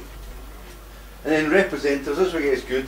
Representatives of the Greater Manchester Fire, Fire and Civil Defence Authority. Now, I could talk more about this, I won't, right? I'm really good. The Police Authority, those are not the police, that's not the fire brigade. Right? And Waste Disposal Authority. The board is supported by the wider team leadership comprising the relevant chief executives. Okay, Donna Hall. AGMA will continue to act as the voice of the 10 local authorities of Greater Manchester, but it's much of a, part of a much stronger partnership with the GMCA. I phoned up uh, Wigan Council and asked them a simple question. I says, uh, I've just read through the, the GMCA constitution. It says it's the Metropolitan Borough Councils that constitute the GMCA, Greater Manchester Combined Authority. They've no authority in their own. The authority is granted to them by the 10 apparent constituting boroughs. And I says, the problem is, I says, who the fuck's Wigan Metropolitan Borough Council? What authority do they have? She goes, what was the council? I says, no, it's not. The the constitution is Wigan Borough Council. You're, you see you're working for Wigan Council. Who? Can you give me one, can you put me in touch with one person from Wigan Metropolitan Borough Council? And she says, it must be a typo. How much money does it, that hub, this, the hub, we'll start calling it the hub because that's what it is, smoking cats and stuff. How much money do they handle every year? It's based upon a typo, their authority. We need to be digging, guys. I mean, all your Anunnaki and whatever it is we're into, you know. This is where this is where the real meat lies. We need to start digging into who these guys are. And you guys are not from Manchester. Liverpool's a crack as a sitting target as well at the moment. We're Liverpool direct. Okay, start digging, writing letters, FOIs, when they're kicking doors. You want answers. Who are you? Start digging deeper and deeper and deeper. Form teams, little research teams, and get this info. We need this info. Start digging into who the people are on the boards. Publish it. Share that information. Okay. So, Uh, this definition is the combined area means area constituting of the areas of the constituent councils. Uh, so a constitution is used to form a corporation, so it's a, a big corporation. It's a regional, it's, this is regionalisation of the UK. They knew they wouldn't get away with it democratically by asking us, so they're doing it sneakily. They dismantled the councils, the county councils, and then they took it out to borough councils, subverted every private companies, Capita, G4S, Serco, you pick your weapon, uh, and now they're rebuilding the back up again to regions. But they've avoided having a thing called a referendum on that subject. The constituent councils means the metropolitan district councils. This is from the GMCA constitution, by the way. The metropolitan district councils, the local government areas of Bolton, Bury, blah blah blah blah, right? So it's the metropolitan district councils. What is the metropolitan district council? Where do they get their authority from? What are they? Who are they? The GMCA means the combined, get Manchester Combined Authority. Okay. Right. Blah blah blah. Basically, it's the, the Greater Manchester Combined Authority Order 2011. Right. That's where it gets real interesting. Right. Now, was this a, was this an act of Parliament? No, it's an order. So this was this huge change, fundamental change. I mean, it's like constitutional level change, right? Uh, dismantling county councils came from an order from one person, the Secretary of State, who is not a public official, who's private. Okay? She doesn't swear an oath of allegiance to the Who Queen. doesn't sit Theresa May? Yeah. So, uh, watch out for Secretary of State. She or he alone, right, is now issuing. This is a huge problem. I was reading through a report uh, from. Uh, from, a, from, a, from a barristers forum and they're worried about this, how much power is now invested in individuals within government to make these huge sweeping decisions so that they're sub- subverting the whole acts and bills and the whole process of involving the House of Lords and debate and democracy and all that sort of, you know, uh, nuisance thing called democracy. And these guys can issue orders, orders themselves. How many people know that uh, parking debts, as they call it, parking debts, uh, are enforced under tenants, uh, distress of tenants rules? Nah, under, uh, sorry, under common law. Uh, so that it's, for, it's, it's designed for, uh, uh, the distress was designed for where landlords need to deal with troublesome tenants. That's what they're using to enforce all, all road traffic debts. Right? Do I believe it? I posted up in the Ashton room. There's three orders were signed by the, uh, uh, was it the Lord Chancellor? Uh, orders. Again, these orders, they're issuing all these orders. Distress is This- disgusting. Yeah, To distress is distress disgusting. somebody is just disgusting. So anyway, so yeah, absolutely. So that's what we're using to enforce. Anyway, so I'm just showing the power of these orders. These orders are really powerful, and it's one person sitting there making a decision. And you find a lot of times when they issue the orders, it says submitted to Parliament. Parliament's in recession, in recess. But all Secretary of States are chosen, handpicked by the Royal Institute of International Affairs, I don't if you know that. I didn't know that, so thank you very much. Well done. Well, if you look at the Royal Institute of International Affairs, they're a non-government organisation, but they have connections to um, Committee of 300 and... Oh, that's the- Well, there you go. That's the circle because you now see that going round now. There's that that that that dodgy organisation, another one of these the James Bond villains, uh, now deciding that Greater Manchester is now going to be a some sort of weird private entity with no democracy that just tells us what to do and backs orders at us with the lords and the the, the, the, the kings and stuff, you know. So they take to charge of transport. Uh, uh, Anyway, so transport's the big one, okay? But they're talking, so uh, they're, they're, now info, they're now invoking the Local Democracy, Economic Development and Construction Act 2009. If you haven't read this stuff, guys, read it. Right? This, is, this, is where, this is where the meat really lies, okay? Next. Wigan Borough Council Constitution. So just if people don't believe me, right? It says here, meanings, plans and government advices the council should adopt as part of the policy framework. These are local agenda 21 strategy. I've got it confirmed they have adopted it. Okay, next. Uh, this is my comments. Wigan Borough Council now appears now to be economically dormant. Yes, they are. I've got, I've got uh, uh, uh, uh, credit reports. Okay, so Wigan Borough Council. Remember that the Wigan Borough Council appears to be economically dormant. Wigan Council, different thing, appe- refuses to provide any foundation documents or constituting documents to prove who and what they are. Yet they're the ones collecting council tax. They're the ones instructing the bailiffs. Okay, these are the ones that are taking all the, they're, they're Conflict running everything. again, yeah. You ask them who they are and they slam the phone down, actually refuse now. Anyway, Wigan Metropolitan Borough Council appear to have zero de jure authority for the same reason, and therefore it must be questioned what authority M- MWBC actually brings to Greater Manchester Combined Authority. Nobody can tell me. And you start asking questions, and trust me, they dodge and dive and don't answer them. Now, the new act, they're called the Metropolitan Borough of Wigan Council. Who and what are they? When challenged, I've told you about the, the, the, the typo. The council legal team now refuse to answer any more questions on this subject from me, as apparently stressing and upsetting the staff. I mean, I was, Oh my days. Right. Investigations into criminal activity such as institutional and electoral fraud and money laundering often does cause alarm and distress upon people investigating.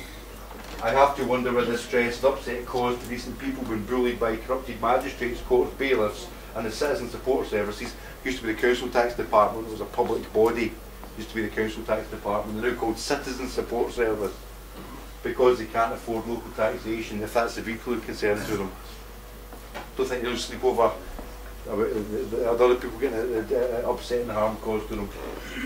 anyway, next one. Uh, I wrote to this is where I've lost foot of the letters, so I'm sorry. I, this this was the meat of it. Uh, Wigan, dear Wigan Metropolitan Borough Council, uh, this is this is through whattheknow.com. Please write copies of the consultation and decision-making documents which resulted in United Nations Agenda 21 being included in the Wigan Council Constitution. So I've asked them, you've said you've got public mandate in this, Yeah. where is it, Yeah, right? prove you from. Okay, next one. Uh, so I got this crap first of all, basically saying the Secretary of State recommends, no, she's just ordered, hasn't recommended nothing, right? Uh, but as a recommendation, as a recommendation, it's not voluntary in this. So what happens is the UN recommends to the states, the states then recommend DEFRA, as is, recommend to the, the local authorities. Did you know that DEFRA is now doing the, now they're the ones that have created the modular constitution for the local authorities? DEFRA. No, right. Why is DEFRA doing that? Who and what are DEFRA now? Okay. Uh, anyway, so basically, so it's, it's voluntary on the, the local councils. So basically, I was asking the question, what points become obligatory on myself. Uh, so she following advice and above guidance, the council included the title of strategy in its constitution as a part of the government advises that the council should adopt as part of the policy, policy framework. So they're always dodging the bullet there. Uh, but they have adopted it. They have adopted that, and that's Agenda 21 is in the council constitution. Right, next one. And this is what when asked for the evidence and a, a, a further FOI. I got given this. This is the meeting minutes. And look at the blank everything else out. What have they got to hide in that meeting? It's all been blanked out. You know, there's one wee section basically saying that it was uh, what is it? Uh, basically talking strategy. So small. They're basically talking. It's, it's a strategy committee. Essentially, what happened was a focus group. Right, my understanding it was a focus group. Right, some as big as that. You realise implications financially in this. We'll go in a minute. Uh, but the, the, the, the, the, this is huge. It was put to, I mean, and they actually right, right, right to them and say, how many people in this focus group were not employees of the council? Nobody replies back. Next one, so that's what I got. This is shite, go back. Right, just give it a quickly blast over what fraud is, okay? Uh, good website to go to, Action Fraud, right? Did you know Serious Fraud Office has had its teeth pulled, its claws pulled, right? Uh, Serious Fraud Office is now a toothless tiger, okay? And you've got private outfits run by primarily a big company called Serco, if you haven't heard of them, look into them, right? Uh, running all this now, okay? So when you're reporting fraud, you're no longer talking to the police. That's why they call themselves action fraud, not see this fraud office or the police fraud. They're called action fraud, right? And it looks like a police department, it's not. This is happening everywhere. Everything's now privatised. Uh, so they say government agency scams and fraudsters send out official looking letters or emails to ask for money or personal information. Wasn't that your council tax bill does? right? The, the correspondence gives the impression that they, this is their advice by the action fraud. Their co- the correspondence gives the impression that they are from a government department and imply they have some form of authority. Council tax again. The letter or email might advise you you must register in order to comply with some kind of legislation for a fee. Electoral registration. Use it. These guys are acting fraudulently, they're not the real councils. That, and you- can see I'm not doing that because I'm taking action fraud advice. There's one solution for it. Next one. Abuse of position of trust. This is another type of fraud on No, the website. This when someone abuses their position of authority or trust against another person for personal or financial gain or to cause loss to another. Uh, anyway, so there's a whole, you ought to read this stuff yourself, but uh, fraud has been committed if money or assets are lost by the victim to the person in position of trust or authority. Okay, so anyway, next one. Asset misappropriation fraud. Uh, when it happens when people who are entrusted to manage the assets of our organisation steal from it. I've just shown you what's happened to Wigan Council. I can assure you now it's now an asset strip shell and all that, all that nice public land and assets are now being held, held in trust by private companies and security for debts. Okay, next. Council tax fraud. This is from the website. Um, action fraud website. Council tax fraud is when a person deliberately gives incorrect or misleading information in order to pay less or no council tax. Let's turn it round. Council tax is when a person deliberately gives incorrect information in order to collect council tax. Okay. Next one. Impersonation of officials. I tell you, it's interesting. See, you say to who you work for, and they go, Wigan Council, you say, what, what, what name does it say at the top of your wage slip? I'm not, I'm not obliged to divulge that information. You would if you were fucking Wigan Council, you'd be happy to, Wigan Council. I just answered my question. Uh, this is where fraudsters claim to be officials. Uh, so they make false officials to make false promises with tax rebates or demand fees or customs payments or VAT payments, council tax payments. Took a longer list. Council tax payments, parking fines. One of our guys went to parking tribunal. Was David in? I don't think he came today. Uh, went to went to, eventually took the parking tribunal. Got a parking ticket, and he went to Manchester parking tribunal, and he said to the judge, "I'll pay when they can prove who they are." And they went from Wigan Council saying, "We are the council." And the judge went, "Actually, yeah, I'll give you two weeks." So six weeks later, they get three pages of really intense legal argument about why they don't have to show who they are. I'm, I, I know nothing, guys. I'm, I'm an idiot. You know, I'm all wrong. I'm a nutter. Apparently, to some people. Uh, anyway, next. Right, direct and indirect costs of Agenda 21 on you. Next. Next. Next. Next. Next. you mean to tell me the ball was in your hand the whole time? Yes, it is, guys. Next. next. and next. Okay. So, I the letters I had I lost, they, were- they were on this and it would be corrupted. But I was going to I was going to post some letters. If some of the guys in the Ashton room were already seen these, I wrote to Scottish Power, asked them the question how much of because Scottish Power actually produced in their their bill. They're the only outfit that did. I don't know if they're still doing it to, to break down the bill. And there's one per, one part that says 12% VAT and government obligations. Maybe one of these awkward buggers. What does that mean? So I wrote to them, what does government obligations mean? They come back, it's uh, climate change levy, green levy, social fund and carbon tax. So right, okay. Next letter. Which of these have I agreed to can Yes. Right? So they come back and go, well, well, no, you haven't actually, but we're obliged as a company, so we would pass the cost to you anyway. So next letter was, isn't that slavery? Which we're going to. Isn't that slavery? Silence. Anyway, so I can tell you now, that's, that's direct of your electricity bill, that's a direct, right, due to these extra levies and funds, right, 7% fact, okay? Now, how about the indirect Agenda 21 costs? How much is diesel now?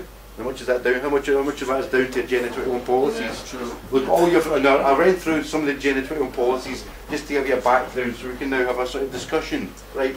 You look at the indirect costs. How many, how many legal companies are they using? How many transport companies? How many shipping companies are they using? How many, you know, other services are they using? All these companies use electricity lighting. All these companies use cars. All these companies pay employees and deduct it from the, from the employees' taxes. And some of those taxes are going to government to pay for Agenda 21 policies. So all the way through the chain, so you can start at seven percent. So they. And I, I mean, I'm reckoning it's probably thirty to forty percent now. Uh, now you wonder why I'm seeing it more expensive. That's why. And it's all voluntary. So I got a letter from DEFRA, uh, and I got I got to, I got to confirm it again, and he did roll back and confirm it again. It is entirely voluntary, right? Contract law. If it's voluntary and you don't object to it, what have you just done? Agreed. Agreed to it. Just agreed to it, okay? So what do you need to do now? Rebut. Rebut. Withdraw your consent. Or uh, even more importantly, say I've just been misled, you fucking missold it to me. You, you sold this as being uh, uh, obligatory when in fact it wasn't. You haven't disclosed and you're actually fra- defrauding me. Fraud Act 2006, fraud by misrepresentation, fraud by, fraud by abuse of position. Okay, so indirect cost is the big question. We don't know that. Okay, next one. Right, what else? Everything, everything that is subject to statutory regulation, orders, or taxes. Every single thing. You buy a pair of shoes for your kid, right? How much of Gen 21 policies was included that factory that made the rubber? How much? How much did they pay? The leather company, the sh- shoelace company, the shipping company brought them over from China, the the, the, the, the, shop for the pay- how much taxes have they? I mean, uh, uh, Agenda 21 have they paid in their, their taxes and stuff? You know, especially to the council for the rates. So you see the whole chain here. You can pick something simple like a pencil or a pair of child's shoes. You can get you can start to appreciate how vast this chain is, and every stage of that chain is paying for Agenda 21 policies, which are voluntary. So it's everything. Buy a bag of chips. There's Agenda 21 policies in the back of that. Next. What to do? Write to every individual body to send you a bill of statement and ask them for a full accounting. Have fun with that. A full accounting to include those elements throughout the supply chain that are voluntary or obligatory. You're obliged to ask that. You're doing due diligence because you're running your business, remember? The businessman would never pay a bill somebody's paid, there, there's a bill for five grand. You see what's it for? Due diligence. You need to be doing this. You're running your own business. Due diligence. Okay. So, that, so initially you're looking for disclosure. So you want him to say, well, okay, that, you're, you're me a bill here, but I don't remember agreeing to that. You know. Uh, uh, so what, what, what is the full contract? Uh, and you're asking for throughout the supply chain, not just direct. You're asking for indirect throughout the entire supply chain. Okay. Uh, that are voluntary or obligatory because if they're not, they're committing fraud. If they say you've now you've now raised the issue, they've now got to divulge information. Otherwise, they're they're treading in a very dangerous water now. Next one. If you're not convinced by the Agenda 21 hype, and I'm hoping that some people tonight might be thinking twice about the the reality of what it's been used for, an alarm, then you have the power to withdraw your consent. You have the power. You can stop contributing to this erosion of democracy and your privacy. If you're told you do not have the power or authority to, draw, withdraw consent, then is that not slavery by enforcing debt servitude on you? So where Scottish Power say to me, no, we've got to pay it anyway. Yeah, you agreed to it, not me. Okay, next. Uh, I won't read through it all right, but I just want to focus. This United Nations 1956 Supplementary Convention on Abolition of Slavery, Slave Trade Institution Practices similar to slavery. This is the definition of what these words mean. This is where the definitions come from. Debt bondage. There's two definitions of slavery, debt bondage and serfdom, right? Uh, that is to say, the status or condition arising from a pledge by a debtor of his personal services or those of a person under his control as security for a debt. So the Scottish Power have got themselves in debt to the government, apparently, right? Uh, and they're saying I'm under their control and I'm being used as a surety for their debt. Says it there, guys. Black and white, I can read. Know, no big dictionaries required for that one either. Next one. Uh, now, slavery is now a crime in the UK since 2009. Okay, I won't go through the whole thing. This is uh, I'll put in there. I rushed this, I rushed this before it came out there. But this is the Coroners and Justice Act 2009. Okay, section 71. Right, buried in the middle of that big document, by the way. What it does, it made slavery, servitude, and forced or compulsory labour a crime. Okay, so basically, if one person loses enslaving another person, and they both know about it, it's a crime. So, uh, just the the Coroners and Justices Act 2009. Quote that, and they shit themselves you, we quote that. And by the way, they shit a brick. Next one, we're not supposed to know this, right? You are not a slave. Apologies for the, thing there. Okay, next. I think that's it. Okay, so essentially you've got you've got some solutions here. What you can do is you can tie these guys up, right? I want a full accounting. They send you an accounting back. You know you're going to get crap. So you go out and say, actually, that's not a full accounting. Try again. I'm only doing my due diligence. Are you asking me not to complete my due diligence? Right, and by the way, uh, debt, debt, debt servitude and debt bondage and the Coroner Justice Act, you know, says uh, you know, actually you're not allowed to enforce those. I need to come, I need, I need to agree to this. It's voluntary. There's a letter from DEFRA saying it's voluntary. So uh, keep uh, supplying the, uh, keep supplying the, uh, the, the, the, the, the the, the, the, the accounting until I'm satisfied that we have we have actually decided what is voluntary and what is involuntary. Oh, and by the way, I don't consent to the, the voluntary stuff. And it's that simple. Now, if we all do that, and there's no risk to this, you're not going to get in trouble. Nobody's going to be kicking your door. You're just asking a question, aren't you? You can't pay a bill. Remember, the Bills of Exchange Act, for those that have studied it, requires a sum certain. Right? A sum certain is not a sum certain if it's part of it's voluntary and part of it's involuntary. That's not a sum certain. Only the bit that's, that's involuntary, the bit that's obligatory on you is certain. They start adding extras in, that becomes a little bit vague what a sum certain is then, right?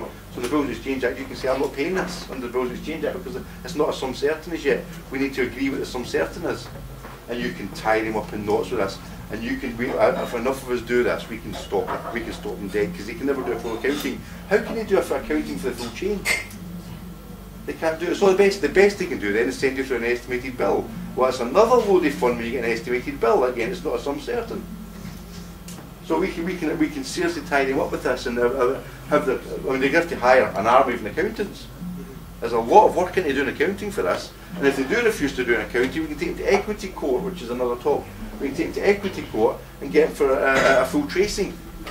If they do, if they, if they do refuse an accounting, take them to fucking equity court, get a full tracing on it. You're entitled to. But let them take you to court. I'm not paying until I know what I've got to pay, guys. Well, it's obligatory. I'm not paying anything voluntary. I believe you're committing fraud. So until such times we can agree what is obligatory on me, I'm not paying. Or how's this? Like I'm doing at the moment. Uh, I'm assessing it's 40% of the bill. So I'll pay you 60%, withhold the 40% till such times as we can sort out that. So you've shown honour. Yeah, you're paying part of your bill. You're showing honour. You're holding some of it back until such times as they can prove exactly and prove every every every penny prove it's voluntary or involuntary. Can they do that? That's going to absolutely cost them a fortune to do that accounting. We can tie them in knots. They've shot themselves in the foot with this. And it's so simple, it's, there's no risk test, anyone can do it. All you've got to do is it's, it's, it's template letters. For one letter with three lines, we're going to have one of your accountants pulling his hair out for six months. Imagine ten of us doing this for a company. So we can start doing this now. What I'm doing is I'm saving up all my receipts now, every single receipt from Boots and who's that one? Esso, Morrison's. I'm just saving. I'm just every time I go to a shop and buy something now. What I'm doing, I'm sending that receipt through with a letter to the company, saying I believe it. A large part of that is actually voluntary. You must sold it to me as being obligatory. So could you give me a full accounting for that, that, uh, that final value, and tell me which of that was obligatory and which was voluntary? And here's here's the address to send the cheque to. Thank you very much. I've written to Revenue Customs. Can you tell me where to send these receipts to? Uh, to claim back the money. Uh, because I believe it for a number of years now I've been misled. This was a obligatory and actually it was voluntary. I was missold. And the Revenue and Customs, you have uh, breached, you, breached your position of trust because you should have told us about this. Okay, they should have told us that some of this was voluntary. They've been committing fraud. Yeah. And we've been paid tax and fraud. Okay, so uh, uh, that's that's that's the big solution. So what I did, I tried to build up the Agenda 21 because you needed to know about it. And the next thing was to try and give you the solutions to it. So you've got a, a solution there you can just you can really from there take it as far as deep as you want, or shallow. It's up to yourself. We can create template letters so people aren't comfortable writing letters. You just change the name of the companies and change your name in it. We can just fire these away and sit back and watch your mayhem mayhem begin. Because I'm sorry, I didn't create this. They created it. I'm just trying to fix the problem. So if you get accused of going out of troublemaking, no. I'm just trying. To, I'm doing my due diligence. Okay, so any, any questions? I'll, I'll, I'll, I'll, I'll we'll go off. We can all Stick go. your uh, website type thing. So can, is all that on your website? I haven't got a website. Oh right, I thought it was a website. Oh yeah, free, free, freedom height hyphen northwest. I t- chuck most of my files on there. Anything under 10 mega stuff on there. Rob, This- just, Rob, just a point though, you know, that they give the illusion of democracy, or they say they've, uh, they've asked people for their opinion before they've gone with this agenda. Perhaps in hindsight, a couple of years ago when they gave us uh, a referendum on the congestion charge, knowing full well that they'd lose it because they're taking money out of people's pockets. That was giving us the illusion of democracy. And they can always point back to that and say, well, we gave you. Yeah. Oh, yeah, they, they, they, play, they play that way every way they want. Doesn't matter if you say yes or no. That's the Irish. Did you know democracy beats crazy demon? Hear that, yeah? Democracy means crazy demon. Yes, it's always interesting to look into the words where they actually come from. Yeah. So, uh, yeah, I was actually going to do my original talk tonight, to be about the crown. What is the crown? And that is a big one, like a real big one, right? But I've got some gaps getting filled at the moment, so I'll just save that for another day. Uh, that's an interesting one to follow up on. But anyway, so I'll leave it to that then, guys. So,